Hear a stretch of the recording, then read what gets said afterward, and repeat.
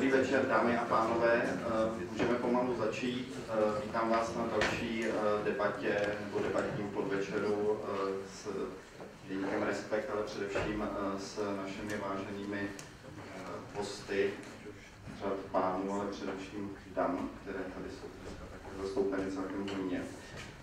To téma, proč jsme se tady dneska sešli, je nová kniha, kterou dal dohromady po mé pravici eh, přítomný eh, ústavní právník eh, Jiří Přibáň.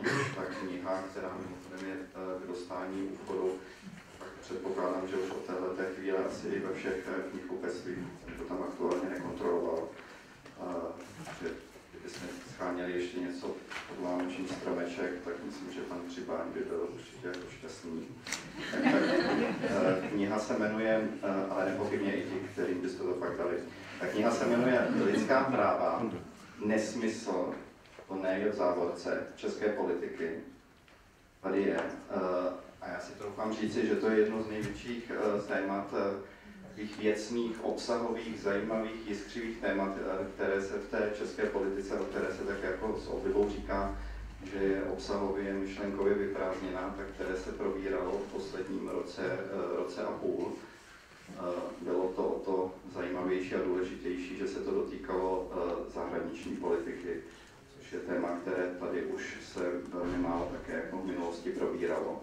E, a k čemuž v podstatě dal e, Výchov v této chvíli již ne náměstek ministra zahraničí, ale šéf jeho kabinetu a nadále velmi blízký spolupracovník ministra Lubomíra Zavarálka, Petr Druhák, známý politolog, člověk, který tady eh, v té své, eh, doufám si říct, ještě mladistvé kariéře eh, zanechal výraznou stopu, ať už před působením na ministerstvu zahraničí nebo na ministerstvu zahraničí, který v podstatě sformuloval do jisté míry novou koncepci české zahraniční politiky, která pak v médiích byla často ve zkratce interpretována jako odklon od toho tradičního pojetí dlouhodobého pojetí takového jakoby jednoho z mála vývozních artiklů eh, České republiky a české zahraniční politiky, to znamená Havlovy politiky podpory lidských práv eh, v některých zemích, tak Petr Drovák k tomu eh, sformuloval takový alternativní koncept.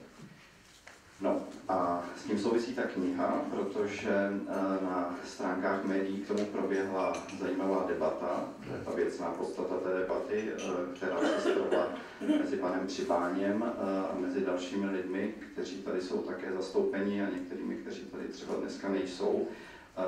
A oni se mezi sebou přeli o tom, jestli ten odklon má význam nebo nemá význam, jestli není na čase promýšlet eh, koncepci zahraniční politiky a fundamenty, na kterých stojí eh, nějakým novým způsobem.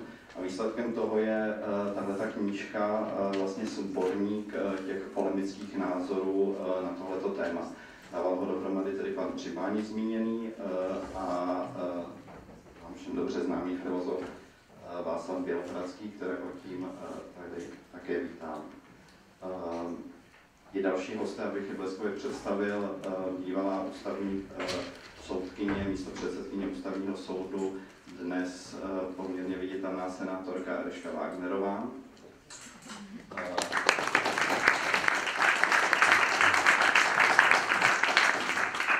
Po mé levici je současná ústavní soudkyně Kateřina Šimáčková.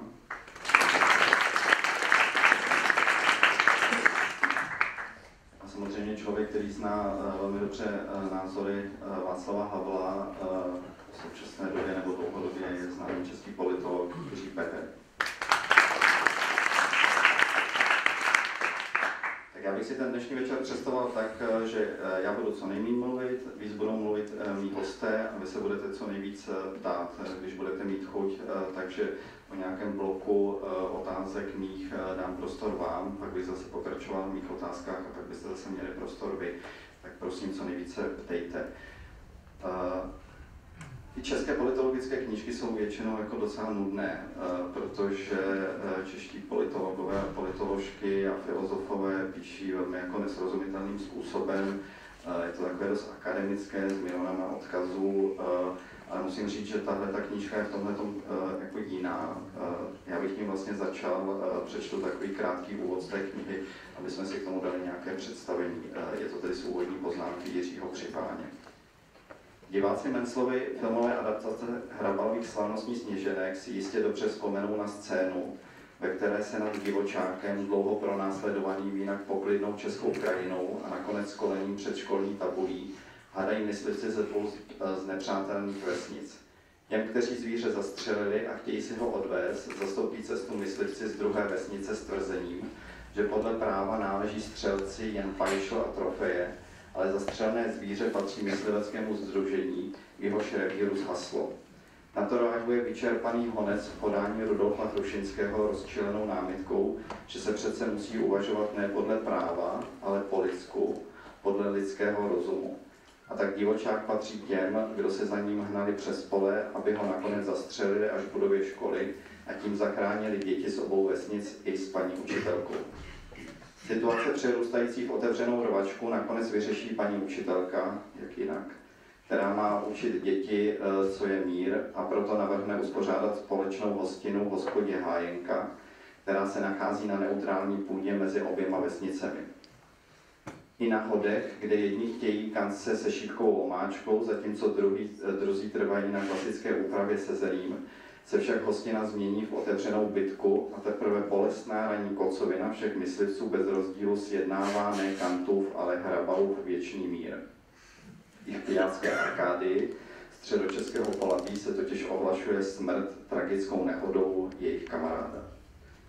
A my jsme tady dneska proto, aby jsme se pokusili trošku rozuzlit a vyznat se v tom, jestli jsme tedy zabili havlovou politiku lidských práv jestli nebylo na čase tuhletu politiku pohřbít eh, a zabít a postavit eh, tady nějakou eh, jinou politiku. A o tom tady budeme dneska debatovat. Já nicméně začnu takovou aktualitou.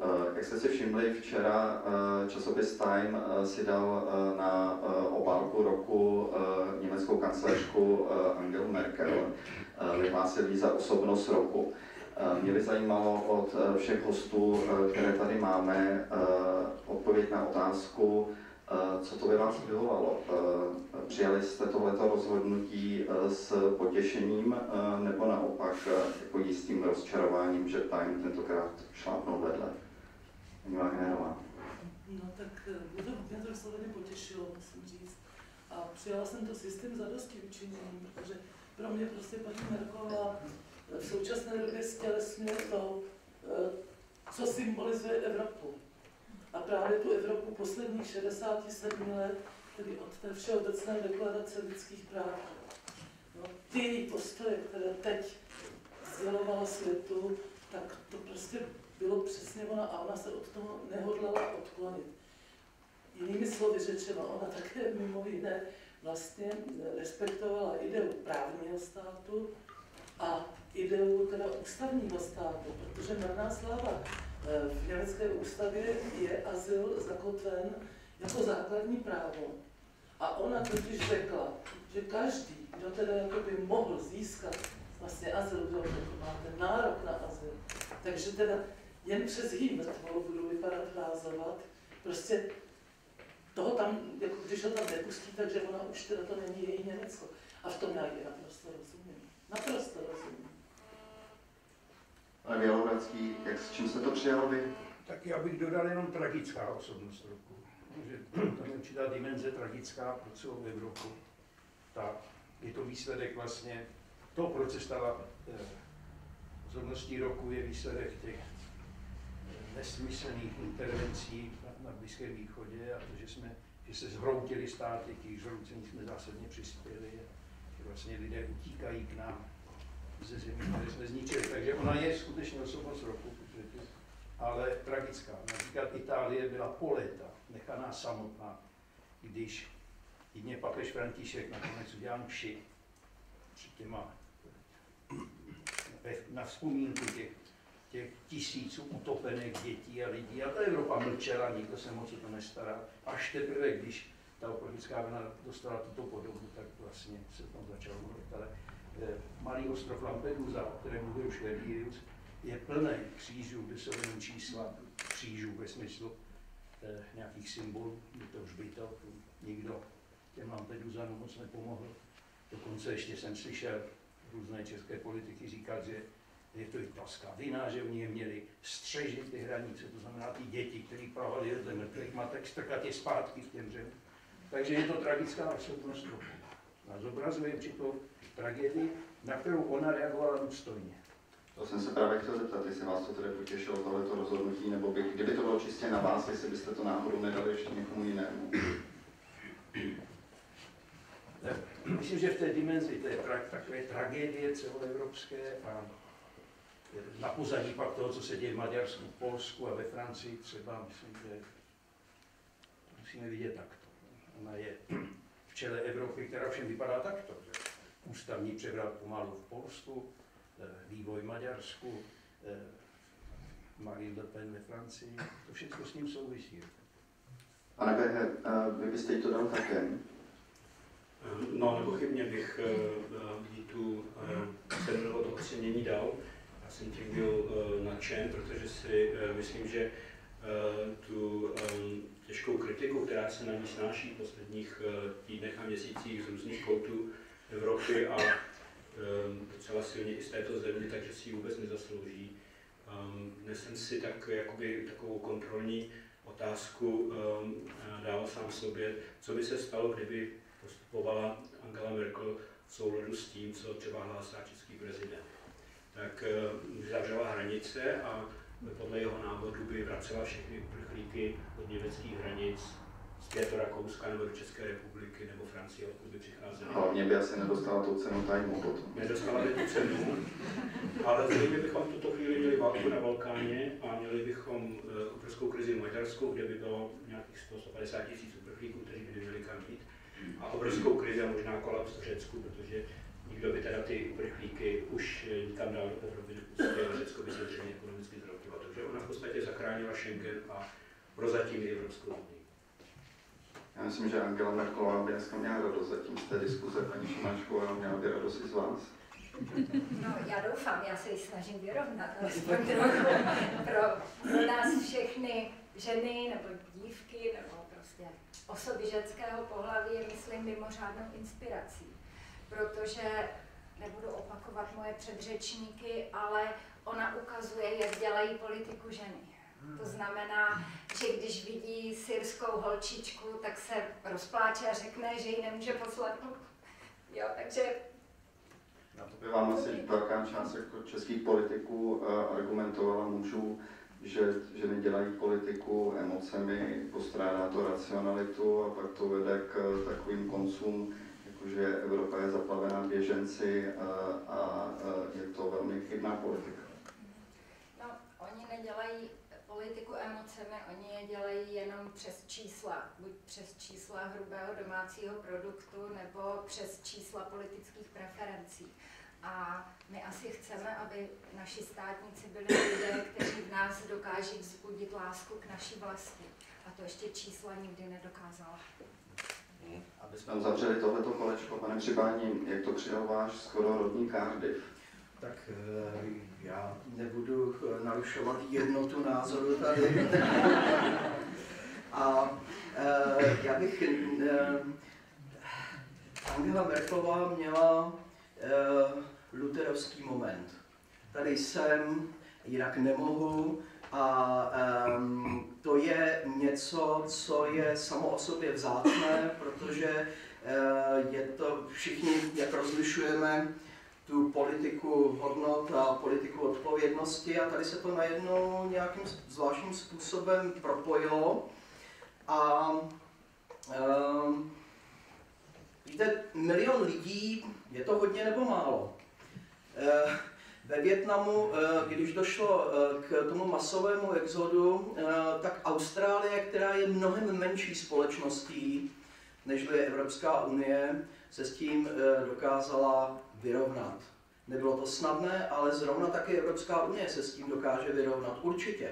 Ale jak se s tím dokáže vyrovnat, to je e, něco jiného. Takže já to vidím nejen jako tragickou osobnost, ale jako osobnost, která ukazuje, že existují um, uh, jisté postoje, které, i když by byly nepopulární, tak je politik uh, musí podniknout, uh, pokud má minimální odpovědnost. A já ten, to ocenění, no tak samozřejmě různí lidé byli oceněni jako osobností roku od despotů a tyranů až po lidi, Eh, kteří jsou obdivuhodní. Eh, já tu Angelu Merkelovou v tomto chápu jako ženu, která v krizi se zachovala způsobem eh, jediným správným možným, ale jak ta krize bude dál řešena, tak samozřejmě za to, to není jenom otázka nějakého rozhodnutí jedné političky, jedné země Evropské unie, ale my jsme svědky to, co tady bylo řečeno,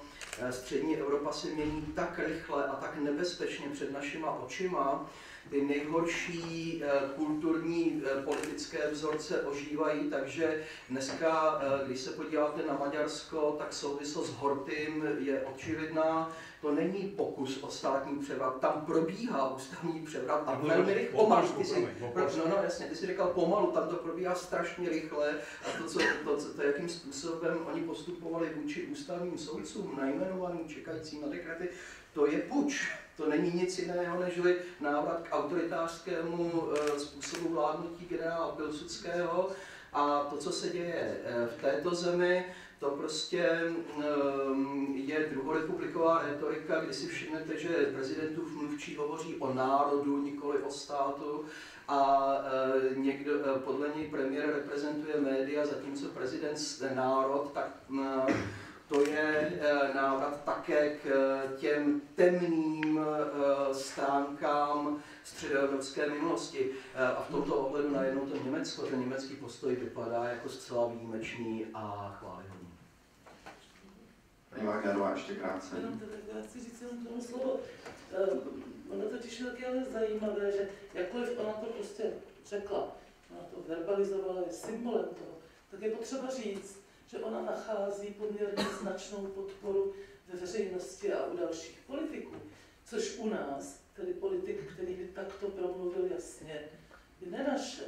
Čili ono to má to kulturní podhoubí, a to totiž teď, teď je to velmi jasně cítit, je to paradoxní, že tedy to kulturně politické podhoubí v Německu a u nás, to srovnání, já nevím, jestli vůbec je to srovnatelné. Já jsem ji zmiňoval proto, protože eh, to odůvodnění, eh, proto jsem se na ní ptal eh, šéf redaktorky Timeu Nancy Gipsové bylo, že svým pohledem na uprchlíky jako na oběti hodné záchrany spíše než na vetřelce, které je třeba zapudit, vsadila žena, německá kancelářka vychovaná do železné opony na svobodu.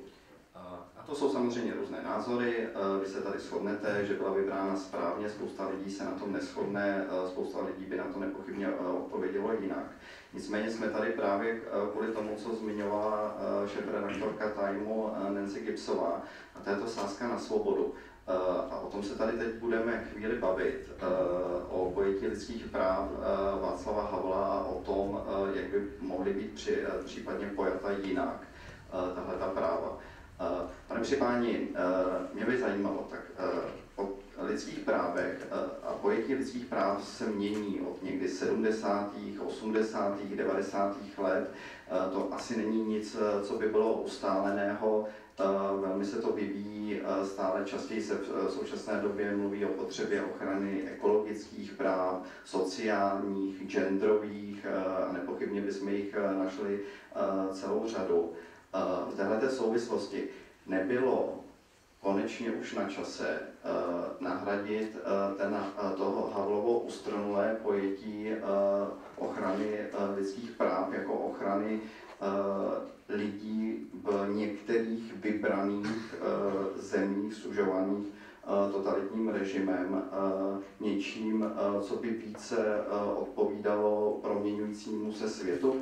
Přece ty Havlovy, to, to Havlovo pojetí není jednou věčně platné, nebylo už dávno zastaralé. Neudělal vlastně Petr Druhák něco, co tahle ta společnost už se sakramensky potřebovala? Eh, Víte, já především eh, při vší úctě k těmto prostorám, ke knihovně Václava Havla, já si myslím, že to není spor o Václava Havla. Že Václava Havla bychom z toho vlastně měli úplně um, vyjmout, protože ono není nějaké Havlovo pojetí lidských práv nebo Drulákovo pojetí lidských práv, ale ta vaše otázka je nesmírně důležitá. Uh, mají sociálně a ekon, sociální a ekonomická práva stejnou důležitost jako práva základní? A vlastně ten spor uh, začal o, o, o to, co si vůbec pod tím pojmem představíme. Já jsem také nereagoval na tu zahraniční politiku, na tu změnu, uh, ale vlastně až uh, na ty další diskuze, které se toho týkaly. A to bylo loni v srpnu, jsme takhle seděli uh, s Václavem na zahradě a povídali si, bylo asi těch 18 stupňů. A takže Václav zvyklý ze středozemí se choulil do deky a bylo mu zima. My odužilí z velského léta jsme chodili v krátkém triku, připadalo nám to jako vlna veder. A vlastně to bylo symbolické, že na jednu a tu samou situaci vy můžete reagovat různými způsoby. Jo. A vlastně ta, ten pojem lidských práv je přesně tak mnohoznačný, přesně tak rozporuplný, já bych dokonce tady použil ten výraz um, komplex opozitorum, jak se říká, že tedy je to, je to soubor mnoha protichůdných, protikladných um, uh, významů a my o ně vlastně jsme vedli tu polemiku. Také, takže uh, pro mě sociální ekonomická práva jsou nesmírně důležitá jako základ sociálního státu, který zajišťuje minimální eh, životní, eh, rov, minimální rovnost těch životních eh, podmínek, ale to neznamená, že by měl mít přednost před základními právy, bez kterých vy se nemůžete ani těch sociálních a ekonomických práv dovolat. Čili právo na spravedlivý soudní proces, právo na svobodu projevu, právo na um, soukromí, Eh, to jsou předpoklady k tomu, abychom měli sociální a ekonomická práva, která jsou vždycky relativní podle míry bohatství té či oné země. Takže vaše sociální a ekonomická práva budou vždy jiná v Británii, Dánsku nebo na Ukrajině, ale vaše základní práva by všude měla být stejná, asi takto. A tomu rozumím. Já bych eh, přece jenom eh, ještě jako tu otázku jednou nějakým způsobem vrátil do hry. Mě vlastně zajímalo, ehm, a já to samozřejmě budu dál jako personifikovat eh, na eh, Havla a pana Druláka, protože oni jsou jako nositelé těch věcí, o kterých se tady bavíme. Mě by zajímalo, eh, jestli ta, ta, ten Havlov způsob a ti lidé, kteří pak na to zahraniční politice navazovali a kteří to prosazovali, to jeho pojetí, nebylo příliš jako úzké. Vy mluvíte o nějaké univerzalitě, ale tak měli jsme několik zemí, na které jsme se soustředili, pomáhali jsme Kubě, pomáhali jsme Barmě, Pomáhali jsme ještě v několika dalších eh, málo zemích eh, jako dizidentům. Eh, o spoustě míst jsme nemluvili a ta zahraniční politika si nevšímala jako jiného porušování jiného typu práv. A na tohle se ptám vlastně. Nepřicházeli jsme tím díky tomu o něco, když naši emisaři jezdili do zahraničí a nebrali se tam za to, jak jsou porušována třeba práva žen a další práva, která jsem zmiňoval. Není tohle to, co právě náměstek Drulák vnesl do té diskuze, to, co jsme potřebovali, o co jsme potřebovali ten vějíř rozšířit? No ale tam je problém v tom, že sociální a ekonomická práva můžete podporovat, e, pokud jste bohatá země, a uh, jejich, protože, jak jsem říkal, jsou, ona, ona jsou příliš relativní na to. Já bych to chápal, kdybychom se zeptali ve vnitro um, státní diskuzi. Nebyl čas na to, abychom zdůraznili sociální a ekonomická práva. A bych řekl, ano, to je důležité. Ale v té zahraniční politice já tomu moc nerozumím, protože tomu, tomu přepolování vlastně pro mě je to trošku mystérium, jak bychom chtěli v českou diplomací prosazovat sociálně ekonomická práva, když nejsme Norsko. A poukazovat na jejich porušování musíte mít jinou politiku pro Albánii a jinou politiku pro uh, Alžírsko, asi takhle. Pane Pehe, vy jste měl možnost eh, pracovat eh, s Václavem Havlem, znal jste dobře jeho přemýšlení. Zmiňoval někdy v těch uzavřených diskuzích, která jste třeba vedli, jako to, že to jeho pojetí pohledu na lidská práva je příliš úzké, nebo říkali jste mu to někdy v těch diskuzích, nebo to bylo něco, co on si třeba vůbec nepřipouštěl byl přesvědčený o tom svém konceptu, nechtěl o tom diskutovat? Tak já si dobře nemyslím, že pojetí, jeho pojetí lidských práv bylo, bylo úzké. On určitě neměl nic proti Eh, rozšíření té lidskoprávní agendy i o ta sociální nebo ekologická práva. Konec konců toho se jaksi v pozdním období těch ekologických zejména docela zastával. Um, myslím si, že ten problém spočívá spíš v tom, že při, tom, při té expanzi, kterou navrhl Petr Drulák jakoby do těch sociálních práv a dalších, se s vaničkou vylévá dítě. To znamená, že vlastně se říká zároveň, že ta, ta klasická lidská práva té první generace už tedy nemusíme eh, tolik jim přihlížet, protože konec konců stejně je to jenom ideologický produkt západní civilizace eh, a, eh, a co s tím. Takže ten problém, ten problém možná, nebo ta otázka je možná trochu nešťastně postavená, protože myslím si, že Václav by s tím neměl problém.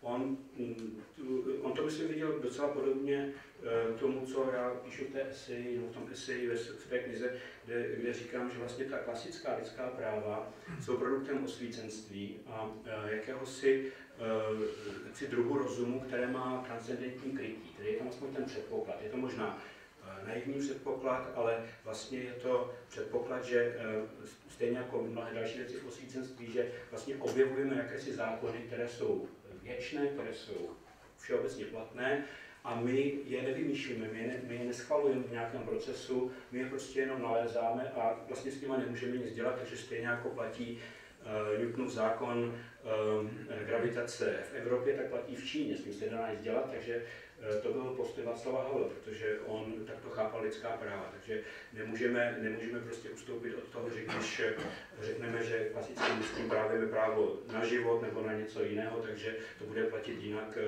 v České republice a jinak a e, pokud jde ta sociální práva, nic bych neměl proti tomu, aby se to stalo součástí nějakého komplexnějšího přístupu, no ale podívejme se tedy na ten praktický výkon české zahraniční politiky.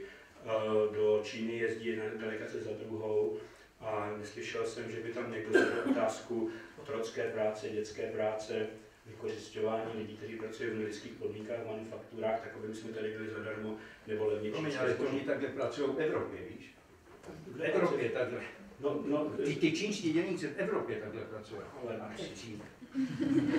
Například ve Florenci, to přece obrovský základ. Třeba to tam zmiňuji, jenom to nevíme, protože to jsou eh, někdy uzavřená jednání, tak víte sám, že z uzavřených jednání ne vždy všechno eh, pronikne na veřejnost.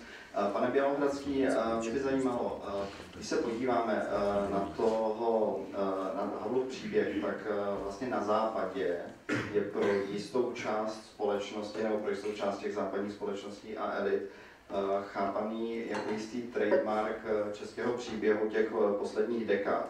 Jinými slovy, jako někdo, na koho může být eh, Česká republika hrdá, především na to jeho pojetí eh, politik, eh, zahraniční politiky, politiky podpory lidských práv v různých totalitních zemích. Těch podobných vývozních značek ta Česká republika zase nemá tolik. A ta otázka je, v čem se vlastně vyplatí České republice demontáž tohoto vývozního artiklu? Tak zaprvé ten vývozní Řekněme si jasně, že dědictví Václava Havla není lidskoprávní atlantismus, neboli bezvýhradná podpora zahraniční politiky Spojených států, což byla intervence. Dědictví Václava Havla je pojem postdemokracie, kterou rozvinul v moci bez kde ukazuje a anticipuje proměnu politického systému od stran a stabilních struktur k té demokracii kritických množství, kterých vznikají, rozpouští se a dosahují svých cílů. A to je velká myšlenka a on vlastně byl první, kdo ten výraz použil. Colin Crouch přišel dlouho po něm.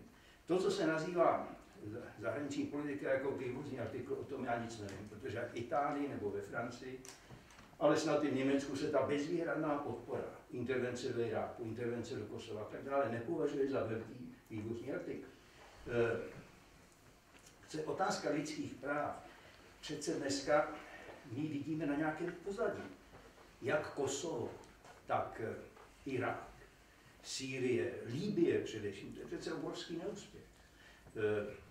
Otázka je, proč to všechno vzniklo a možná někdo z vás si vzpomíná, když se, když se diskutovalo o bezprávnosti komunistického režimu, ústavní soudci diskutovali, tak se vymyslela taková preambule. A v té preambule byly tři principy, které umožní definovat nějaký systém jako totalitní. První bylo, když chybí idea zákona, to znamená obecná platnost a, a e, idea legality, řekněme. Za druhé, když nelze opravit ten systém legálními prostředky. A za třetí, když ten systém je v dlouhodobém rozporu s historickou tradicí národa nebo toho lidu. A my jsme způsobili to těma intervencema tím, tím hurá, tím inženýrstvím, to, to je jakýsi inženýrská zahraniční politika, tím inženýrstvím jsme způsobili, že se ty státy zhroutily, protože ta, právě tento poslední bod vlastně jsme nerespektovali. Ta demokracie je systém, který lze, nelze vyvážet, ale lze vyvážet něco, co mu předchází, totiž marginalizace konfliktu. E, že žádná část společnosti nemá strach, že vítězství té druhé části povede k vyhubení té jedné.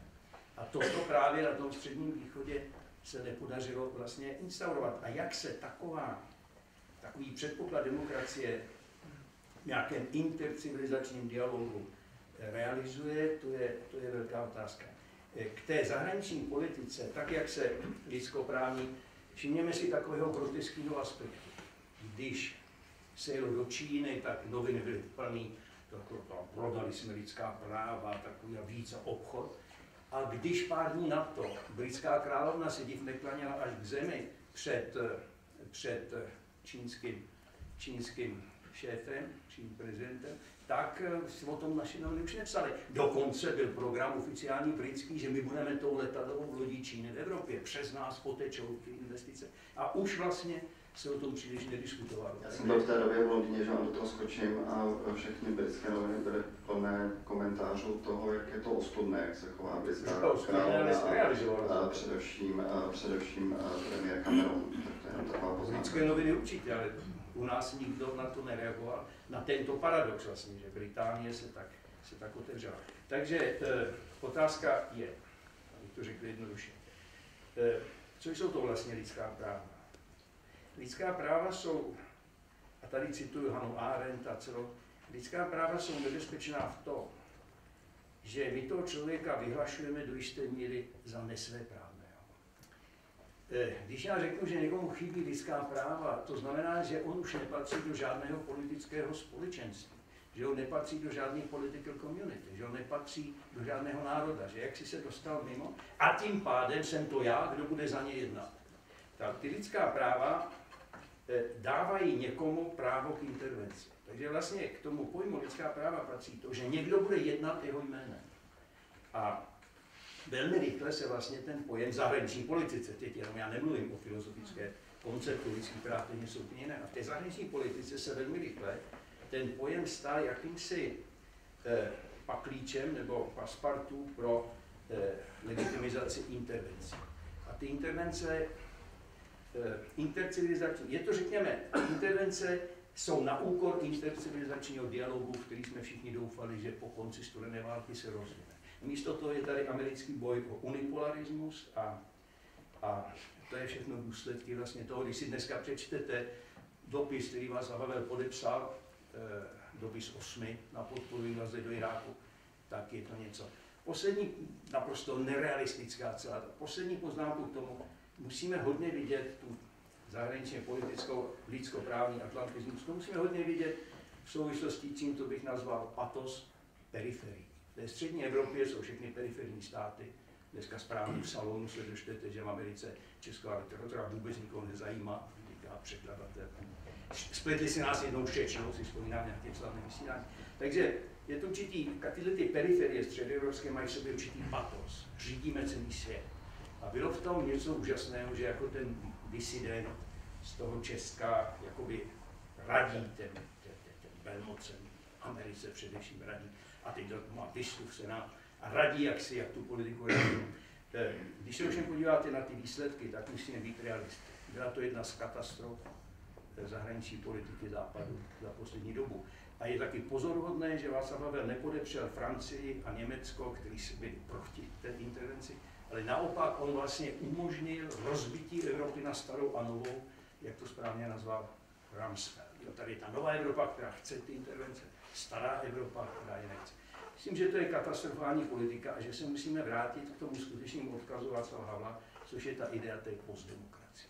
Demokracie pro tento věk antropocén, kde člověk tak strašně mocný a tak dále. Paní Šimáčková, eh, někdo, kdo eh, lidská práva nebo to Havlovou pojetí lidských práv eh, podporuje, myslím vás, a jako asi někdo, kdo chce, aby i na něj byla uplatňována, cítíte se nesvéprávnou? Mě to právě překvapilo. Předmět těch tohle, práv je. Tohle, tohle pojetí, protože zrovna tedy to je asi linie, ve které nejvíc pokračuju v té linii Elišky Wagnerové, že skutečně jeden z nejvážnějších zásahů do lidské důstojnosti vidím právě v tom, že jsou lidé zpředmětňováni a stávají se eh, tedy objektem a ne subjektem péče. O to moje nálezy týkající se práv psychiatrických pacientů, participačních práv dětí a podobně. Takže tedy jako v naší doktríně lidských práv naopak právě to zpředmětnění lidí vnímáme jako naprosto rozporné. Já myslím, vy to, vy to spíš jste asi vnímal tedy, v, že ochrana lidských práv v jiné zemi, když my chceme ji chránit, tak jako by tu zemi... Mluvím exkluzivně o zahraniční politice, ne ano, ano, ano, takže my asi ne, nebo nechci se, protože já jsem samozřejmě spíše specialista na to, jak vlastně zacházet s lidskými právy v rámci jednoho státu, a to dokonce v rámci demokratického státu. A tam bych řekla, že skoro to nejhorší, co člověku můžete udělat, je udělat z něho objekt a nerespektovat jeho subjektivní právo rozhodovat sám o sobě. Pane Pehe, eh, já si eh, dovolím ještě vás jednou využít eh, jako někoho, kdo, komu se možná Václav Havel čas od času i svěřoval. Tak nedávno jsme viděli bývalého britského premiéra, který, který litoval některých svých rozhodnutí, například právě zmiňované podpory intervence v Iráku. Když jste s Václavem Havlem pak od některých těch rozhodnutích ex post mluvil, projevoval eh, někdy, eh, nemusíme to nazývat tak expresivně, lítost, ale říkal, že některé to jeho rozhodnutí směrem právě k podpoře politiky lidských práv, tak jak ji prosazoval, k podpoře některých intervencí bylo třeba chybné, že by to zpětně vlastně neudělal. Samozřejmě, ale... Mm, A o co šlo? Tak můžeme zůstat konkrétně u toho Iráku. Postoj Václava Havla Eh, byl eh, tam v tom velmi širokém mm, slova smyslu lidskoprávní. On opakovaně říkal i mnohem později, že eh, se mu nelíbí, jak administrativa George Bushe celou tu věc jak si pojala po té intervenci, když se dozvěděl o tom, že byla ta intervence ospravedlněna údajnou přítomností nukleárních zbraní, tak a pak se ukázalo, že tam nejsou, tak to mu velmi vadilo. Ale zároveň stále znovu opakoval, že um, svržení diktátora, který má na svědomí tisíce životů vlastních lidí za použití chemických zbraní, eh, je, není zločin. Jo? A toho se držel, takže jemu vadilo to, co se okolo toho později všechno nabalilo, nevadila mu uh, ta, ta, samotná, ta samotná intervence z tohoto důvodu. Pokud by se američani drželi tohoto důvodu a ospravedlnili by tu intervenci tímto způsobem, takže eh, to byl, to byl zhruba, zhruba jeho postoj. Ještě bych řekl jenom krátce k tomu, co říkal Václav. Uh, on použil uh, pojmu nebo slova, že lidská práva chybí někomu. To je právě to slůvko, které tam není úplně patřičné. Člověk buď lidská práva má nebo nemá. My si myslíme, že je má a některé režimy respektují a některé je nerespektují. Takže ta lidská práva se nedají někomu odejmout, ona nemůžou někde chybět. Každý člověk je prostě má podle té lidskoprávní doktríny a pokud ji bereme vážně, no tak musíme uznat, že každý člověk, ať je to Číňan nebo Iráčan nebo Čech, je má. A některé režimy je respektují a některé nerespektují. Běloruský, chtěl byste zareagovat krátce.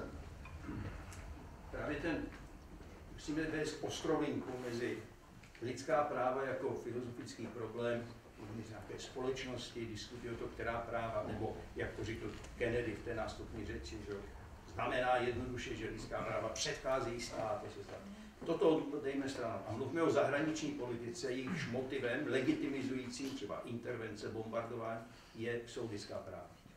Eh, tam přece dochází k tomu, že eh, já jakoby najednou řeknu, Rumsfeld řekl, válka proti terorismu je válka za lidská práva.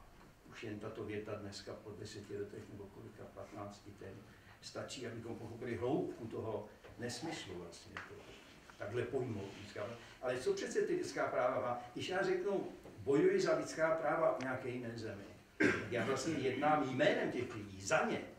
Já jako se stávám si bohem, který teďka realizuje ty práva, které oni nemají, nebo kterým byla, byly upřeny. Mluvím teď jenom o zahraniční politice. Wagnerová, na to bych navázal, eh, když si to tak jako vememe za sebou, tak bombardování eh, Jugoslávie, invaze v Iráku, bombardování Libie, šlo by jistě pokračovat dlouho. Eh, neslouží právě ta havlovská ideologie lidských práv ve skutečnosti k zneužívání úplně jiných cílů, k ospravedlní nebo zakrytí nejrůznějších špinavostí v té zahraniční politice? Já taky odmítám tomu říkat Havlovská Havlovská ideologie lidských práv, prostě lidská práva jsou a to pojetí, které vy podsouváte, jako že to bylo pojetí Václava Havla, no to je prostě, ne, nemyslím vy, teda tady pan, pan Kundra, ale tak to je prostě pojetí, které, je, které sdílí teda ta západní Evropa. Jo, to je jako diskurs vést, teda třeba v Německu, o sociálních právech by byl nonsens. Protože tam prostě ta sociální práva ústavně nejsou zakotvená. Jo? A přesto tedy ale tím, že mluví zase o té sociální státnosti, tak tedy vlastně ten sociální aspekt se tam, se tam promítá. To tež, jako když říkáte, a vy to říkáte jedním dechem, to mi trochu právě vadí, že když říkáte a ženská práva a tohle, to, to, ženy jsou taky lidi, Takže mají lidská práva. Já prostě odmítám nějaká speciální práva. Já jsem taky člověk, že jo. No, a jinak teda jako ten vývoz jakýsi, on to není vývoz, ono to je prostě promítnutí myšlenky univerzality a té sounáležitosti s lidmi v jiných státech, kde jim řekněme ten, ten, ten tamní suverén, ta lidská práva prostě pošlapá. A my chceme být solidární a tady chceme jim nějakou pomoc. Že je to zneužíváno, no jo, tak co už ve na světě nebylo zneužito? Cokoliv se dá zneužít. Cokoliv se dá zneužít. Víte, jestli teda tady zaznělo několikrát, že je to vlastně ideologický artikl, no tak potom ale promiňte, ale ta sociální práva, no tak to je hyperideologický. No. No. Um, ne, to je um, důležité, co tady zaznělo. Myslíte, že ta kritika můj osoby? Ne, ne, ne. ne. Myslím, ten, to pojetí v té německé ústavě, že vůbec nejsou sociální práva. No, v Británii nemáte žádnou ústavu, ale přesto máte svobody, které vám žádná vláda nemůže vzít a máte tam soudce, který vás proti každé vládě, ať je konzervativní nebo socialistická, ochrání. Jo, eh, ten, ten diskurs lidských práv, Václav zaměňuje tady dvě věci, lidská práva a humanitarismus. A uh, humanitarismus je uh, přeci určitý filozofický směr, na který, který s lidskými právami je vzdáleně, uh, se jim blíží, ale není to jedno a to samé. Lidská práva vlastně, když jsme začali tím, jestli Angela Merkel je tragická postava, nebo jestli je nadějí, tak já si myslím, že vlastně celý ten pojem, po pojetí lidských práv po druhé eh, světové válce je eh, reakcí na tragédii Evropy, na tragédii světa, kdy vlastně určitá práva jsou univerzální a náleží vám, ať, jsou, ať, ať žijete v kterékoliv zemi, z kterékoliv kultury pocházíte. A um, tam můžeme hledat eh, nějaké základy um, ne univerzality, ale uh, globální společnosti, Eh, která překonává i tak zastaralé kategorie jako západ versus eh, východ, eh, kolonialismus, postkolonialismus. To jsou staré asymetrické kategorie, kterými nevysvětlíte konflikty v globální společnosti. Sýrie je výsledkem toho, jasně, když půjdeme do dějin koloniálních, tak tam od toho odvodíme spousty zločinů, kterých se Evropané dopustili na světu. Ale tragédie, eh, přeci katastrofa v Iráku je důsledkem intervence. Katastrofa v Sýrii je důsledkem neintervence. My si, jo, to no, no samozřejmě, tam prostě nikdo nechtěl a um, takže, takže ty konflikty i v zahraniční politice jsou mnohem, jak, jak říkala tady Eliška Wagnerová, nemůžeme všechno převést na, na ideologii, protože všechno se dá zneužít a musíme tady zachovat určitý společný slovník a ten slovník lidských práv Eh, podívejte se, eh, vy byste bez toho nemohli eh, vykonávat svoje ústavní funkce, pokud se nemýlím tedy. Pane Pehe, vy jste chtěl ještě já jsem, v podstatě, já jsem v podstatě chtěl jenom říct to, co řekl Jiří Přibán, že totiž, a to také naznačila Eliška Wagnerová, že totiž každá velká idea, která se zrodila, nejenom v západní civilizaci, nakonec je nějakým způsobem vždy někým zneužita. A tak samozřejmě i lidská práva, konec se to dá teďka vztáhnout na to, co se děje Eh, třeba eh, v tom rozlišování mezi islámem a islamismem, nebo, eh, nebo co se stalo ve jménu křesťanství a těch nejzvyšenějších ideí křesťanství.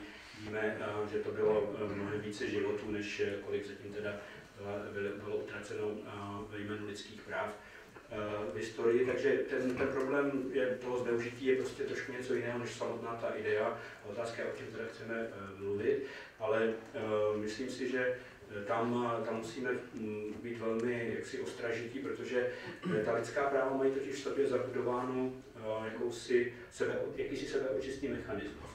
Protože to, co říká Václav Bělohradský, je samozřejmě pravda. Ta uh, idea lidských práv byla mnohdy zneužita těm nejspínavějším um, intervencím uh, a, um, a vlastně k masovému porušování lidských práv.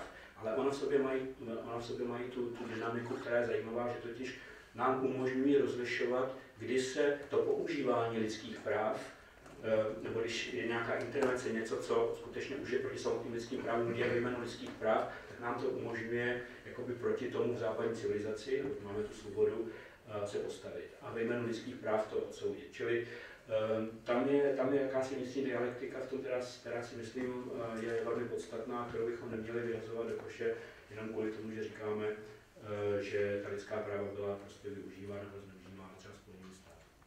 Tak pan Bělohradský, poslední eh, poznámku. Já jsem ale neslyšel nikoho ze zastánců lidskoprávní ne? třeba protestovat, nebo když Sobotka jel do, do Ameriky, neslyšel ho protestovat proti legalizaci mučení zajatců, proti trestu smrti, proti tomu, eh, co se dělo udusili to Černocha, a zrovna v době Británie. Takže lidská práva. Tak podle Amnesty International je, eh, jsou Spojené státy například jedna ze zemí, kde jsou nejvíc porušované. Už samotným trestem smrti do jistý míry, alespoň. Ale celý ten problém přece je, eh, co se stalo, že vlastně díky té politice lidskoprávního atlantismu se došlo k tomu, že americký sebeobraz která je jedna z tragédií 20. století, nebyl korigován tím skeptickým hlasem Evropa. Václav Havel, který měl tu velkou autoritu a kterou velmi správně uplatnil v celé řadě, v celé řadě kontextů, tak v té zahraniční politice nehrála tu roli, kterou hrát mohl, totiž být korektivem toho amerického sebeobrazu. Abych vám to shrnul trošku, jak to s tím sebeobrazem je, tak u nás v Itálii nahoře Čermis letadlo americký srazilo lanovku. A ten kapitán byl tedy hned odvezen do Ameriky, protože američané neuznávají žádný tribunál, ani hák, ani žádný jiný lidskoprávní neuznávají jenom je. A tam byl souzen a byl osvobozen. A ten důvod, proč byl osvobozen, bylo, že na jejich mapách ta lanovka nebyla. A na námitku italských soudců, že ale na italských byla, ta odpověď přišla, že oni neberou úvahu jiné mapy než svoje. Protože to je ten součástí vojenské doktríny. Já chci říct, že To, co se stalo, skočím, co z toho vyplývá, ale proto, že by Česká republika neměla podporovat eh, dizidenty v Určitě podporovat disidenty by měla, ale proč zrovna vládní? Ty disidenty musí podpírat zase naše disidenti. Moc se mi líbilo, že tady v, v, v knihovně Sáva byla ta ruská eh, eh, ta Solenikova, která hned se zajímala o české vězeňství a šla mluvit s vězni. Tak to se totiž vyváží lidská práva, že u nás ta, ta devastovaná krajina, a kteří bojují proti té devastaci, mluví v Číně s těmi, kteří tam trpí, ale ne aby vláda. Vláda do toho nemá moc co mluvit, že vláda eh, prolomí limity a chová se, ale ti, co bojují proti tomu, obyvatelé Horního Jiřetína, by měli jistým způsobem mluvit v Číně s těmi, jejichž vesnice budou taky zbořený kvůli těžení Horního Jiřetína by ale nepřijal eh, čínský prezident. No, čínský prezident taky první přijímat, tam se dá jet bez toho, aby žádal prezidenta o povolení pomoci. Celá řada feministek pak asi nevedlo ale ke změně, že jo? Eh, Protože zase No, ale ono- ono- V Číně, v Číně je celá řada iniciativ eh, uměleckých, eh, feministek, v Šanghaji je celá řada feministických, feministických hnutí, které celkem cestují, nejsou přece. Čína je velmi živá země, to hlediska. Takže ten intercivilizační dialog, dialog přece nesmí být na, na mezi to vládní úrovni. A je třeba korigovat právě ten sebeobraz, který bere v úvahu jen ty vlastní mapy. jo. Přece celá ta tragédie vznikla tak, že Spojené státy nejdřív se z Británie udělali převrat Iránu v roce 1993, dosadili šacha, pak zase toho šacha nechali padnout a pak zase podpořili Saddama Husseina ve válce proti Iránu, aby oslavili Irán. Toto je, toto je přece politika západu na středním východě. A poučení, které bychom si z toho měli říct, že my ve střední Evropě, maličký státy, které jsou plní eh, krizí a patosu a, a nesamozřejmostí a různých jiných traumat, tak by měli korigovat ty velikářské sebeobrazy těch Rusů, Američanů a těch, těch velkých národů. A to tam právě v té lidskoprávní, tom lidskoprávním atlantismu, atlantismu najednou začalo, začalo chybět. My jsme ještě přispěli k tomu, aby, aby si ti Američané v sobě udělali ten veliký sebeobraz těch. Já bych dal teď eh, prostor eh, pro diváky a divačky, aby korigovali náležitě tuhletu debatu. Tak eh, první otázka. Pan tamhle pod lampou. Jan Fábry. Zatím debata byla směřována, připadá mi, zahraničně politickým směrem, ale problém lidských práv je interní. Můžeme například poukázat na romskou otázku.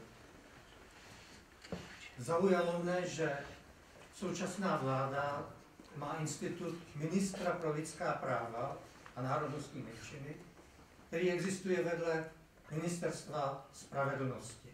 Mně to osobně připadá jako určitá neústrojnost, ale zajímalo by mne, jak na to pohlížíte vy, především právníci, eh, z- zda má smysl, aby existoval Institut ministra pro lidská práva vedle Ministerstva spravedlnosti, pokud bychom považovali právo za hierarchickou stavbu, která má mít určitou jednotu. To je moje otázka. Tak paní Šimáčková. Děkuji za vyvolání. V prvé řadě bych řekla, že Ministerstvo spravedlnosti určitě není tím nejvyšším orgánem, který by se měl starat o právo, lidská práva a spravedlnost v zemi. Jo, prostě Ministerstvo spravedlnosti pouze sprav- spravuje ekonomické záležitosti justice. Já si myslím, že asi rozhodnutí vlády udělat ministra pro lidská práva bylo spíše jako symbolické, že chtělo říct, že tahle vláda bude i téhle problematice věnovat stejnou pozornost jako financím, školství nebo zdravotnictví. Eh, Je pravda, že my jsme měli, my máme i zmocněnce pro lidská práva, výbor pro lidská práva a podobně, někdy se v tom ani sama nevyznám. Eh, Já si skutečně myslím, že ve svém důsledku by měl být tím hlavním ochráncem lidských práv parlament, vláda i justice, protože když se podíváme, co máme hned v hlavě ústavy, tak máme, že jsme demokratický právní stát s úctou k lidským právům. Takže Máme tam symbolicky nějakého ministra, ale jinak je to vlastně nejvyšší úkol všech státních orgánů v demokratickém právním státě a soudu zvláště. Paní Wagnerová, doplnila byste k tomu něco jako právnička? Ne, ne, já myslím, že to, to ani už není potřeba doplňovat. Prostě to je rozhodnutí, které mělo mít určitě symbolický význam a nic víc, nic méně. Tak další otázka, prosím. Tady pán vepředu. Hauser, to bude spíš komentář. Zkuste i otázku, pak z toho. Dobře. Střednědlový komentář a krátká otázka. Lidská práva jsou univerzální, ale jejich uplatňování není univerzální, to je vždy partikulární. Vždy tu je někdo, kdo je uplatňuje. Jsou to Spojené státy, uplatňují je v určité míře v některých státech. Byl tu Sovětský svaz, který také podepsal různé listiny, které, kterým se zavazoval dodržovat lidská práva, uplatňoval nějakou, řekněme, část lidských práv, neuplatňoval jinou část. Uplatňoval, řekněme, nějak sociální práva, neuplatňoval práva první generace. A jak by vypadalo eh, univerzální uplatňování univerzálních práv? To znamená, podle mého názoru eh, je to možné pouze tehdy, když tu existuje eh, společnost, v níž, nebo když tu existuje základní rovnost. Protože pokud tu neexistuje rovnost, tak je tu vždy určitá síla, politická síla, která je privilegovaná, tudíž má sílu uplatňovat lidská práva eh, podle svých zájmů. Pokud pochopíme společnost, v níž existuje základní rovnost jako komunismus, tak pouze v komunismu je možné univerzálně uplatňovat univerzální práva. Čili ptám se, co si o to myslíte. Já bych řekla krátkou poznámku, prosím vás, když říkáte, že v Sovětském svazu byla dodržována sociální práva, mě je to trošku špatně, protože tam lidé no, umírali hlady. Jo. Ale tak... To je jedna věc, kterou je potřeba říct. Jo. E, to znamená, že a, a nebyla třeba vymahatelná soudní cestou a podobně, to, co považujeme jako součást tedy vymáhání sociálních práv. A pokud se bavíme o té univerzalitě lidských práv, to je jako velká debata mezi lidmi, kteří se zabývají problematikou lidských práv. A myslím si, že jsme dospěli k tomu, že jsou skutečně tři nejdůležitější práva, která jsou univerzální.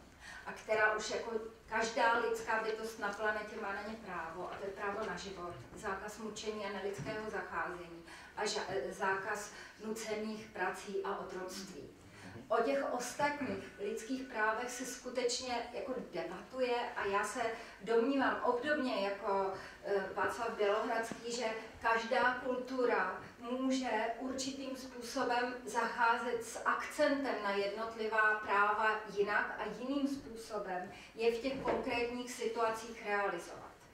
Takže to bych řekla k tomu jakoby, místnímu a k tomu univerzálnímu v lidských právech no, ty, ta tři práva, co jmenovala teď Kateřina Šimáčková, to je, to je vlastně z mezinárodního práva, že tam se to prostě, to je to už Kogens, teda podle mezinárodního práva. A to je trošku něco jiného, prostě pro mě, pro mě vlastně, když se mě zeptá někdo napřímo, jestli je pro mě víc teda právo na život nebo právo na lidskou důstojnost, já asi řeknu, no ta lidská důstojnost, protože k čemu je život, když ho budete prožívat teda naprosto nedůstojných, nedůstojných podmínkách. A to, co tady pán tedy zmínil, no, víte, vy jste o tom zase hovořil, tak jako by vám někdo ta práva dával, zajišťoval, nebo nějak to. To není pravda. Vy je máte a je na vás, jak je budete realizovat ve vztahu k moci. Protože ta práva teda prioritně vlastně jsou namířena, eh, namířena ve vztahu k té moci, že jo, k té moci. Čili je to do jisté míry otázka každého z nás, teda jak, jakým způsobem se bude snažit eh, se o ně prát a hájit a je a, a vymáhat je. Jo? To, je, to je samozřejmě věc, věc další. No. A, a jinak jako pokud jde, pokud jde o tu rovnost, no v naší listině je samozřejmě rovnost taky. Jo. Je tam rovnost i svoboda, to jsou ty dvě kategorie právě, co tvoří ty dva póly, které, a teď se musí mezi nimi nějakým způsobem vyrovnávat, tak, aby nezaniknul ani jeden z nich my jsme našli nějakou tu praktickou konkordanci, která by byla ideální, aby zůstalo co nejvíc z každé té kategorie. A, a to je někdy velmi těžké. tak. Nepřipání krátce, ať se dostane pak na další otázky. Tak Aha, krátce. Ne, eh, jenom eh, proti té utopii rovnosti bych postavil, je zajímavé, eh, a to je také jako důvod vzniku této velice rozmanité knihy, mě překvapilo, jak je možné, že eh, v západní Evropě eh, když řeknete lidská práva, tak si všichni vybaví levici, zatímco tady útok na lidská práva pocházel z levice. Jo? Ta nová levice jakoby úplně zapomněla, že lidská práva jsou ty nejradikálnější tituly, které máte přesně vůči vládě. To je Thomas Paine, práva člověka, kterými se dovoláte um, své svobody, ale i rovnosti eh, proti kterékoliv, eh, proti jakémukoliv zneužití eh, vládní moci. A je zajímavé ta rozmanitost, když vy akcentujete tu rovnost, tak tady je hned několik autorů vynikajících, ehm, eh, eh, takže Václav Němec, Pavel Holubec, Petr Akha, Michal Kopeček, který tamhle měl zrovna um, skvělý esej o tom, jak i v disentu vlastně ten akcent nebyl jenom na ta základní práva, na, ty tři, na ta tři základní práva, ale vlastně i na ta práva sociální a ekologická, a vlastně která posouvají ta práva do těch zápasů o důstojný život. Jo, takže to není jenom otázka rovnost, volnost, bratrství, ale je to otázka v podstatě té lidské důstojnosti, která to mění do té nové normativity, do takového, já nevěřím na univerzální uh, ideo, uh, utopie, ale uh, na, na to, že pro globální společnost existuje nějaký minimální právně normativní základ, tak o tom jsem přesvědčen. Jste nepochybně využil práva pochválit svoji knihu. eh, Ne, ne, ne, to není moje kniha. Což je další z univerzálních práv. Pane Bělohradský, Jenom jedno, jedno k tomu větu. Nej, nejtvrdší moc je, když něco vyhlásím za univerzalistický. Když matka řekne dítěti, všichni to tak musí dělat. To je prostě sám. Musí se chodit, to se musí dělat všichni. Univerzalismus je vždycky mocenský vztah a je to vrchol toho mocenského vztahu. Já musím něco dělat, že je to univerzalistické. To není univerzalismus. Kdo je pánem univerzalismu a kdo vyhlašuje něco za univerzální? Například soukromé vlastnictví. Je to univerzální právo. Právo na život. Co tedy potrat? Je to univerzální právo, právo na život? A co právo na smrt? Promiňte, já, A co já právo vás- na smrt? Mám právo já umřít, mě budou držet na Já využiju právo vás utěšit, tak eh, ještě jedna otázka eh, v bloku, tady pán Hovanec. Já jsem Václav Němec a já mám, já mám teda připomínku tady zejména k Václavu Bělohradskému, takže nebude to otázka, bude to připomínka, ale určitě ho tím vyprovokuju, aby se bránil, takže předpokládám, že bude uh, odpovídat. Já tomu mám dvě poznámky. Jedna teda je, že uh, podle mě uh, ta lidská práva, především jejich, jejich cílem je, aby byla zakotvená vlastně ústavně. To je věc, že prostě musí se stát součástí pozitivního zákonodárství, aby vůbec mohla platit aby mohla být vymáhána. A já si myslím, že to je jako jeden vlastně ze základních eh, ambicí, kterou měli už ty první vlastně tvůrci té myšlenky um, lidských práv, aby jakožto třeba um, listina práv a svobod byly součástí ústavního pořádku. Jo. To je teda jedna poznámka. A myslím si, že i vlastně ten tlak potom, to samozřejmě funguje v těch demokratických společenstvích, ale vlastně i ten tlak na venek jo, v té mezinárodní politice eh, někdy funguje a měl by vlastně fungovat tak, že my bychom vlastně tlačili na ty státy nějak jako více či méně jemně, aby zakotvili vlastně ty práva teda ve svých, ve svých ústavních pořádcích nebo ve svých ústavách. Další věc, pokud jde o mezinárodní práva, eh, nebo o roli těch lidských práv v mezinárodní politice, jste tady mluvil o tom lidskoprávním atlantismu, ale jako by se zapomínalo na to, že je tady Všeobecná deklarace, která vlastně je konstitutivním základem OSN, že jo? to znamená, vlastně je to něco, na čem se kdysi shodlo už světové společenství. To znamená, že když, se jako, když jde o porušování lidských práv někde ve světě, tak my se vlastně můžeme odvolávat na tyto dokumenty. A to, to znamená, že já si myslím, že to, o čem tady mluvíme, je vlastně nějaký jako selhávání v tom mm, vymáhání těch lidských práv, jo? že vlastně existuje už jakási celosvětová shoda, nebo kdysi existovala, že by lidská práva vlastně měla být dodržována, a dokonce máme tady mezinárodní dokumenty, ale problém je s tím vymáháním, že jo? To je prostě ten, to je ta Rubiková kostka nebo ten problém, který se prostě nedaří, nedaří řešit. A mně se zdá, že nakonec i vy, když tady uh, potom uh, vytýkáte těm Spojeným státům, že jednali nějak vlastně nevhodně, uh, nebo že se dopustili možná i nějakých zločinů při těch intervencích, jo? to nelze asi nelze asi spochybnit, takže se nakonec sám nějak jako implicitně odvoláváte na ideu lidských práv, protože vlastně z vašeho hlediska, že tam došlo k porušování těch lidských práv. To znamená, že tady platí to, co myslím říkal už eh, Jiří Přibáň, nebo eh, nevím kdo, že vlastně my nakonec nám ta, ne, ne to říkal, to říkal pan Pehe, že když mluvil o té dialektice, že my vlastně můžeme i uh, používat tu myšlenku lidských práv tam uh, jakožto nástroj kritiky ideologického zneužívání lidských práv. Jo. To znamená, že stojíme vlastně na půdě té, téhle té lidskoprávní, uh, lidskoprávní agendy už a je to, je to vlastně součást nějak vlastně našich hodnot a takový jako hodnotový rámec, ve kterém se pohybujeme. Vymáhal byste, vymáhal byste taky třeba tržní ekonomiku jako součást lidských práv? Tržní ekonomika není přece součástí lidských práv? V mnoha ohledech ano.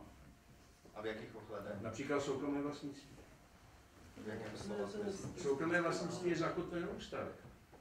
A je tam a... taky, že z vlastnictví zavazuje, takže je tam ano, jako tam sociální role. Chci jen říct, že, že to je utopie, že můžeme vymáhat e, lidská práva tímto způsobem. Něco jiného jsou ústavy. Ano, ústava je výsledek historické zkušenosti lidí, lidstva, národů, který postupně ústavě zem Britové v klasickém slova smyslu. Ale vyhlásím určité principy, například američané hovoří o demokracii a tržní ekonomice ve svém boji za, za práva lidí, abych to řekl.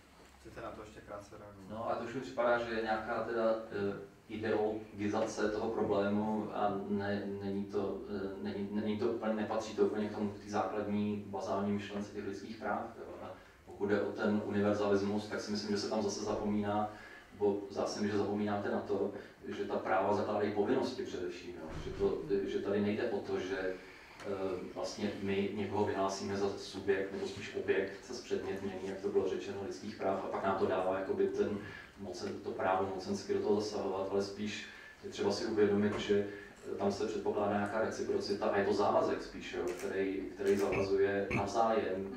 A když se na to podíváme z tohoto hlediska, tak pak už taky eh, ta myšlenka se jeví jinak. Tak já poprosím ještě o jednu otázku. Eh, buďte stručnější, prosím, při kladení těch otázek, ať se dostanete eh, na vás, na víc vás. Tak máme pán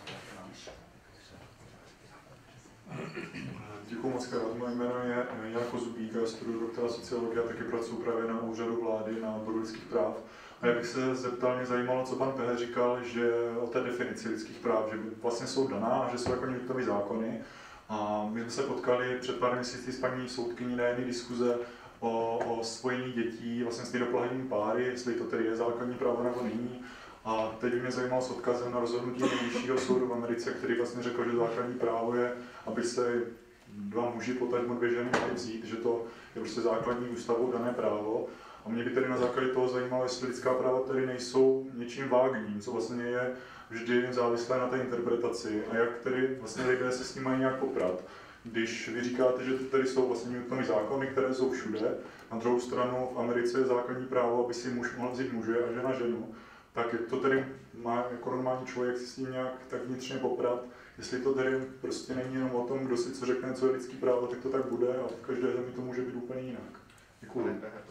Ano, tak já jsem, já jsem neřekl, že lidská práva jsou Newtonovy zákony, které platí všude. Já jsem uh, se snažil nastínit stejně jako v tom svém eseji, jakým způsobem se té první generaci lidských práv dospělo. Já jsem se snažil naznačit, že ta lidská práva byla součástí jakéhosi zepětí eh, evropské eh, civilizace a americké zároveň eh, v době, kdy přicházelo osvícenství, vznikala modernita a v té době prostě vlastně lidská práva byla svým způsobem těmi velkými filozofy, kteří, kteří objevovali ta lidská práva, ta základní lidská práva, eh, pojímána v podstatě stejně jako, jako třeba eh, celá řada dalších věcí v té, v té době nastupujícího racionalismu, eh, kdy tady bylo přesvědčení, že tady jsou určité dané pravdy, které my nevyjednáváme, které my objevujeme, protože tady, tady jsou prostě. Takže to, tak, tak, tak vznikla ta první generace lidských práv a já jsem neříkám, že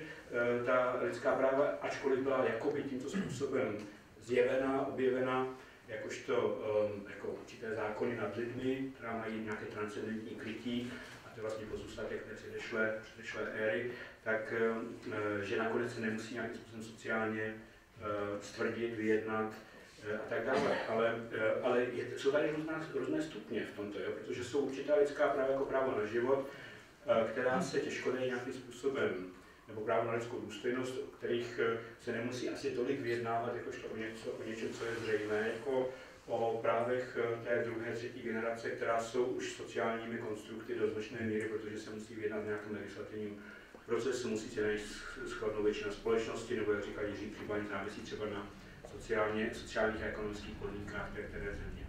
Takže ta, to, co jste říkal jako ten příklad, eh, to si myslím, že eh, s tou lidskoprávní agendou souvisí samozřejmě do určité míry že my ta lidská práva té první generace dál a dál vykládáme vnášíme do těch, do těch nových situací společenských, ale na druhou stranu samozřejmě to není úplně lidskoprávní otázka. To je prostě otázka nějakého společenského koncensu a to, jestli budou manželství eh, lidí stejného pohlaví, to je nakonec otázka sociální dohody.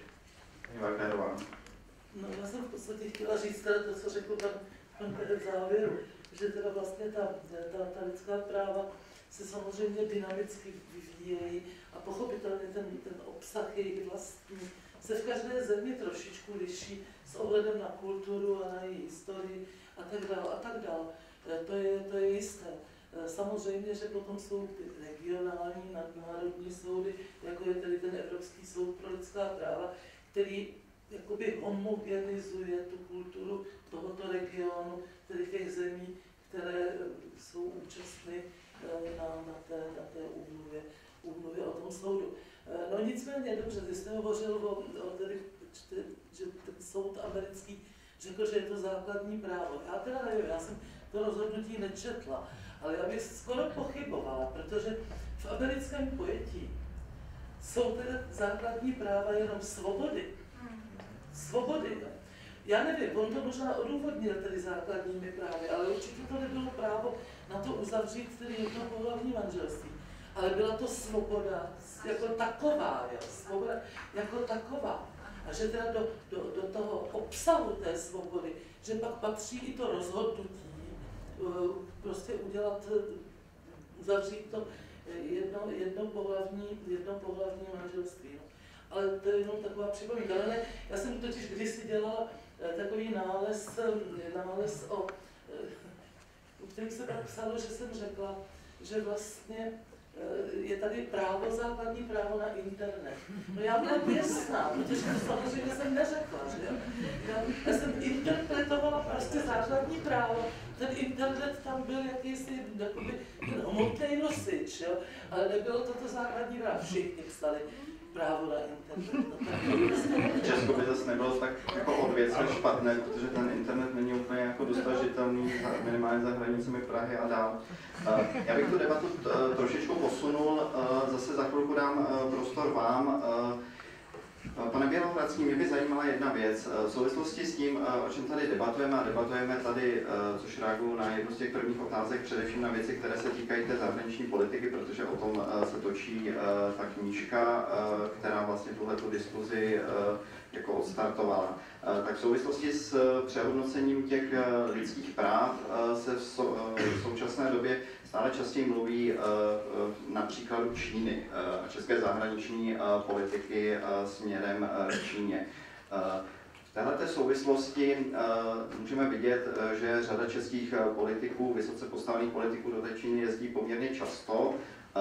Férově je zároveň říci, že vlastně ani ty minulé administrativy vlastně nikdy nespochybněly politiku jedné Číny, například navázáním plnohodnotných diplomatických vztahů s Tajvanem ani nehájili nezávislost Tibetu, ale zase e, měli vlastně, nebo zanechávali si možnost kritizovat vlastně okupaci Tibetu. Mě v této souvislosti zajímá, nedávno vlastně při takové té renesanci těch česko-čínských vztahů přišla česká vláda s tím, že vlastně Česko respektuje čínskou územní celistvost A když jsme se pak eh, ptali těch českých politiků, jak eh, tohle to vlastně vzniklo, protože to znamená, jakoby, že eh, zároveň už nebudeme kritizovat to, co se děje v Tibetu a to, co se s Tibetem stalo, tak argumentovali, že údajně ten požadavek měla čínská strana. Nicméně už jsme se nedopátrali toho, kdo přesně tenhle ten požadavek na té čínské straně vznesl jestli to tak skutečně bylo. Ta otázka směřuje to k tomu. Nemůže to být celé taky trochu jinak.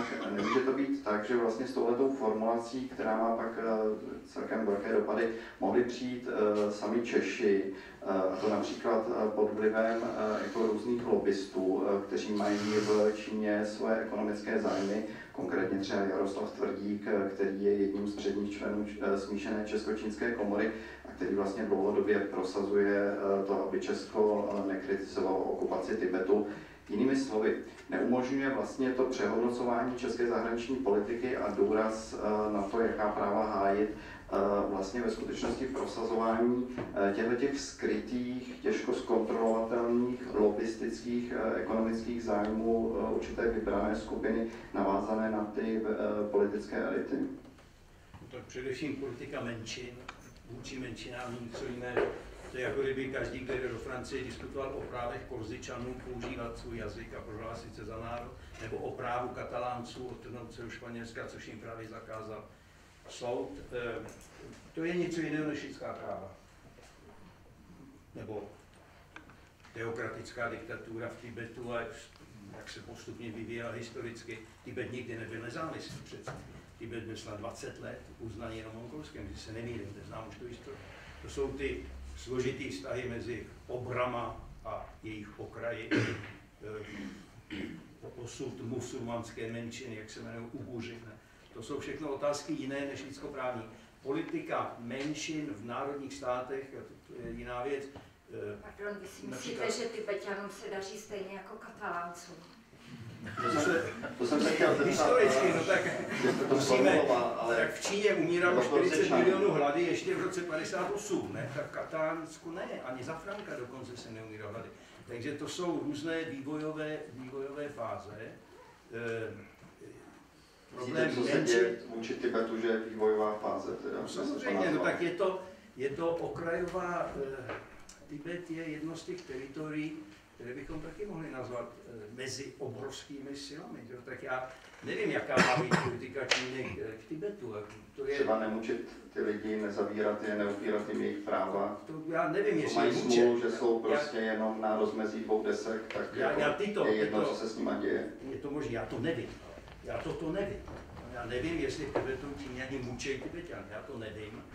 A e, nikde jsem na univerzitách, když jsem mluvil o Tibetu, o to, to neslyšel, že by je mučili, že by tam byla takováto situace. Naopak se mluví o jakémsi turistickém boomu v Tibetu a jakési spotřební.